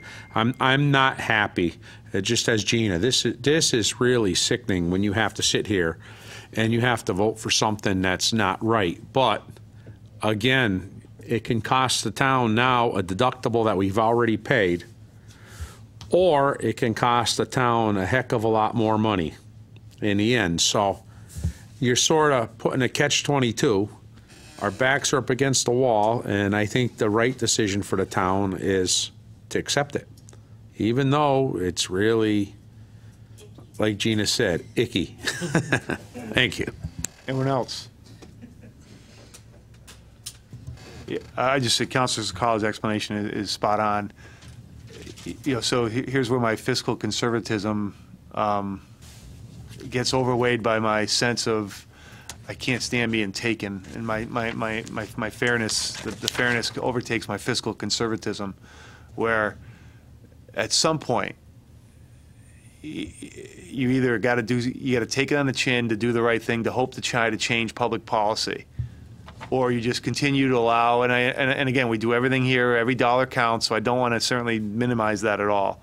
But uh, it's to a point where the, the laws are not being um, in my opinion being um, enforced for the folks who are actually following the law in this kind of these kind of situations. So can we if this passes tonight, since we had some other issues why we couldn't be as, as I don't want, uh, we, with some of the details of the numbers here, can we make sure that the public understands?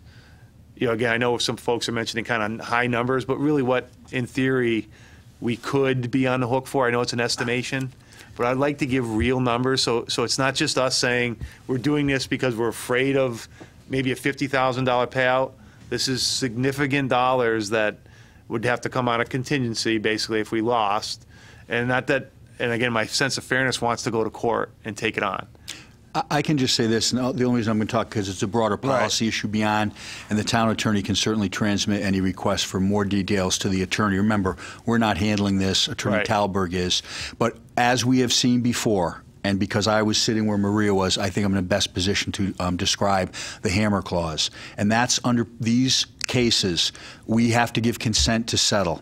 Other cases we don't. Negligence cases or somebody, there's a car accident, we don't. The insurance company handles those. We really never hear about them. But these, they require to come to you to have you say settle it.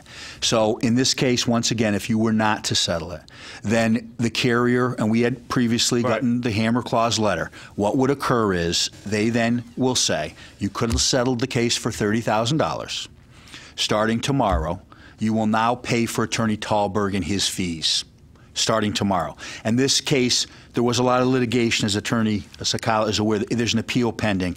So we would have to go into federal court and pay his attorney's fees for the appeal. Uh, It's not. No, th- about 300 to 375 dollars an hour is not pro bono. So we'd be responsible for that. If it's resolved in our favor, they could appeal it. If, if we were to lose, and he said most of those cases would be upheld, you are then on the trial list. A trial, then we would be responsible to pay for Attorney Talberg. If we were not to prevail, um, and it was a plaintiff's verdict, whatever that judgment is, say they awarded this plaintiff $100,000. You'd say, well, okay, it was three times the cost. Well, probably our attorney's fees would be equal to that. Then you have to pay the plaintiff's attorney's fees. And he said in the federal court it's about, as I said, $375 an hour. So I'm saying realistically, conservatively, if you were to say, damn the torpedoes, we're taking this one all the way, um, and you had the th- those convictions, ultimately, you can never know. You could win outright, but the appeal, you're definitely going to pay for that. That's not going to be free no matter who wins. And then if it were to go on to a trial, 300000 $400,000, and you, you have to turn to the taxpayers and say, well, whoops, Could have settled it for 30, and it was repugnant and disgusting, but we didn't do it. And this plays into when we're trying to put more police on the street, Yes. more community police. And you know, more- I think it's an important point. point, and you've all asked, and I think it's not speaking out of school. We always check with the police department. Right. Who is in accord with this? We check with the officer involved, and he is in accord That's with what, this. that's important for people. It- It's critically important because I know this council, if the officers in the department said that, no, this is the one you have to take a stand on, I, I think I know the council well enough to say, despite the risk, you would do it. But the officers in the police department know this is not abandoning them. Actually, this is saving them from going through the trial. There is personal exposure to the officers on some of these cases if we were to lose in their career. So they're in accord with it. So I think as unpalatable as it is, once again, and hopefully the la- for the last time for a long time, you'll have to All right.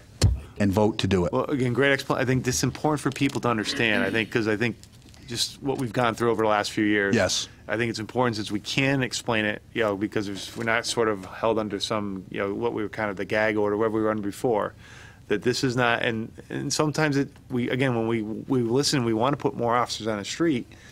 There is liability that unfortunately, because of, and let's be honest, this is a friv- frivolous case, that we have to make decisions because of that. And I'll just let you know as well, part of it is there's cycles. Right. And we're not casting or making determinations, but our attorney, who has tried many of these cases, has said we are in a cycle where juries are very sympathetic to these individuals despite um, the facts, despite uh, how strong a case the town has. And the federal judges are inured to be more uh, empathetic and sympathetic to the point where a couple of cases he recently tried where they won the federal judge put it aside and reinstated and entered a verdict for the plaintiff. After a jury of our peers said the town or the police did nothing wrong. So we have to be cognizant that that's the environment. Maybe the pendulum will, will sway the other way. You'll have a case where we go, you know what, we draw the line in the sand and, you know, we're in a more favorable circumstance and you say, this is, we're, we're trying it. So, but you know what?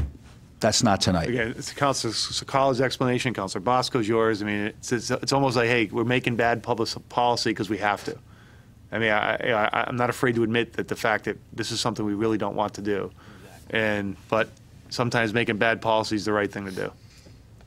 Any other um, comments? Thank you very much for everyone's explanation on this. Roll call, please. Counselor Bosco. Four. Counselor Cekala. Four. Counselor Deni. Four. Counselor Falk. Four. Mayor Ludwig. Four. Councillor Muller. Four. Deputy Mayor Szewczak. It should never be unanimous against. Councillor Unghire. Four.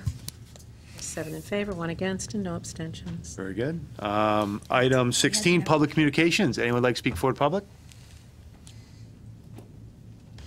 No? You're, hey, yes, Lucia, right? you're sitting there. I mean, uh, At least wish us happy Thanksgiving.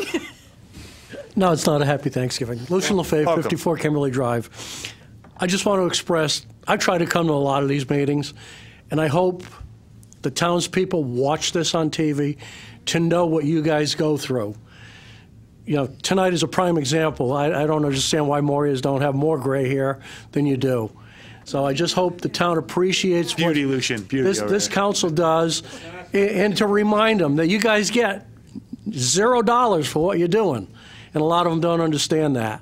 You know, to sit here and watch this firsthand in front of me, I just hope a lot of the town people watch this on ETV, YouTube, wherever it gets broadcast, so they can understand what's going on in this town. Thank you very That's much, That's it. sir. And again, Thank happy Thanksgiving, Happy everybody. Thanksgiving. You too. Anyone else like to speak for the council? Pam Walter? No? All right. Did such a good job la- last meeting. I know. I declare public communications closed. Item 17, council communicate, Councilor Bosco. Through the mayor to town manager. Um, Chris, we don't have the Christmas decoration thing anymore or a Halloween one. Um, what, why did it go away and what would it take to reinstate something like that? It just brings a lot of goodwill to the town and it don't cost a lot of money. On the town green?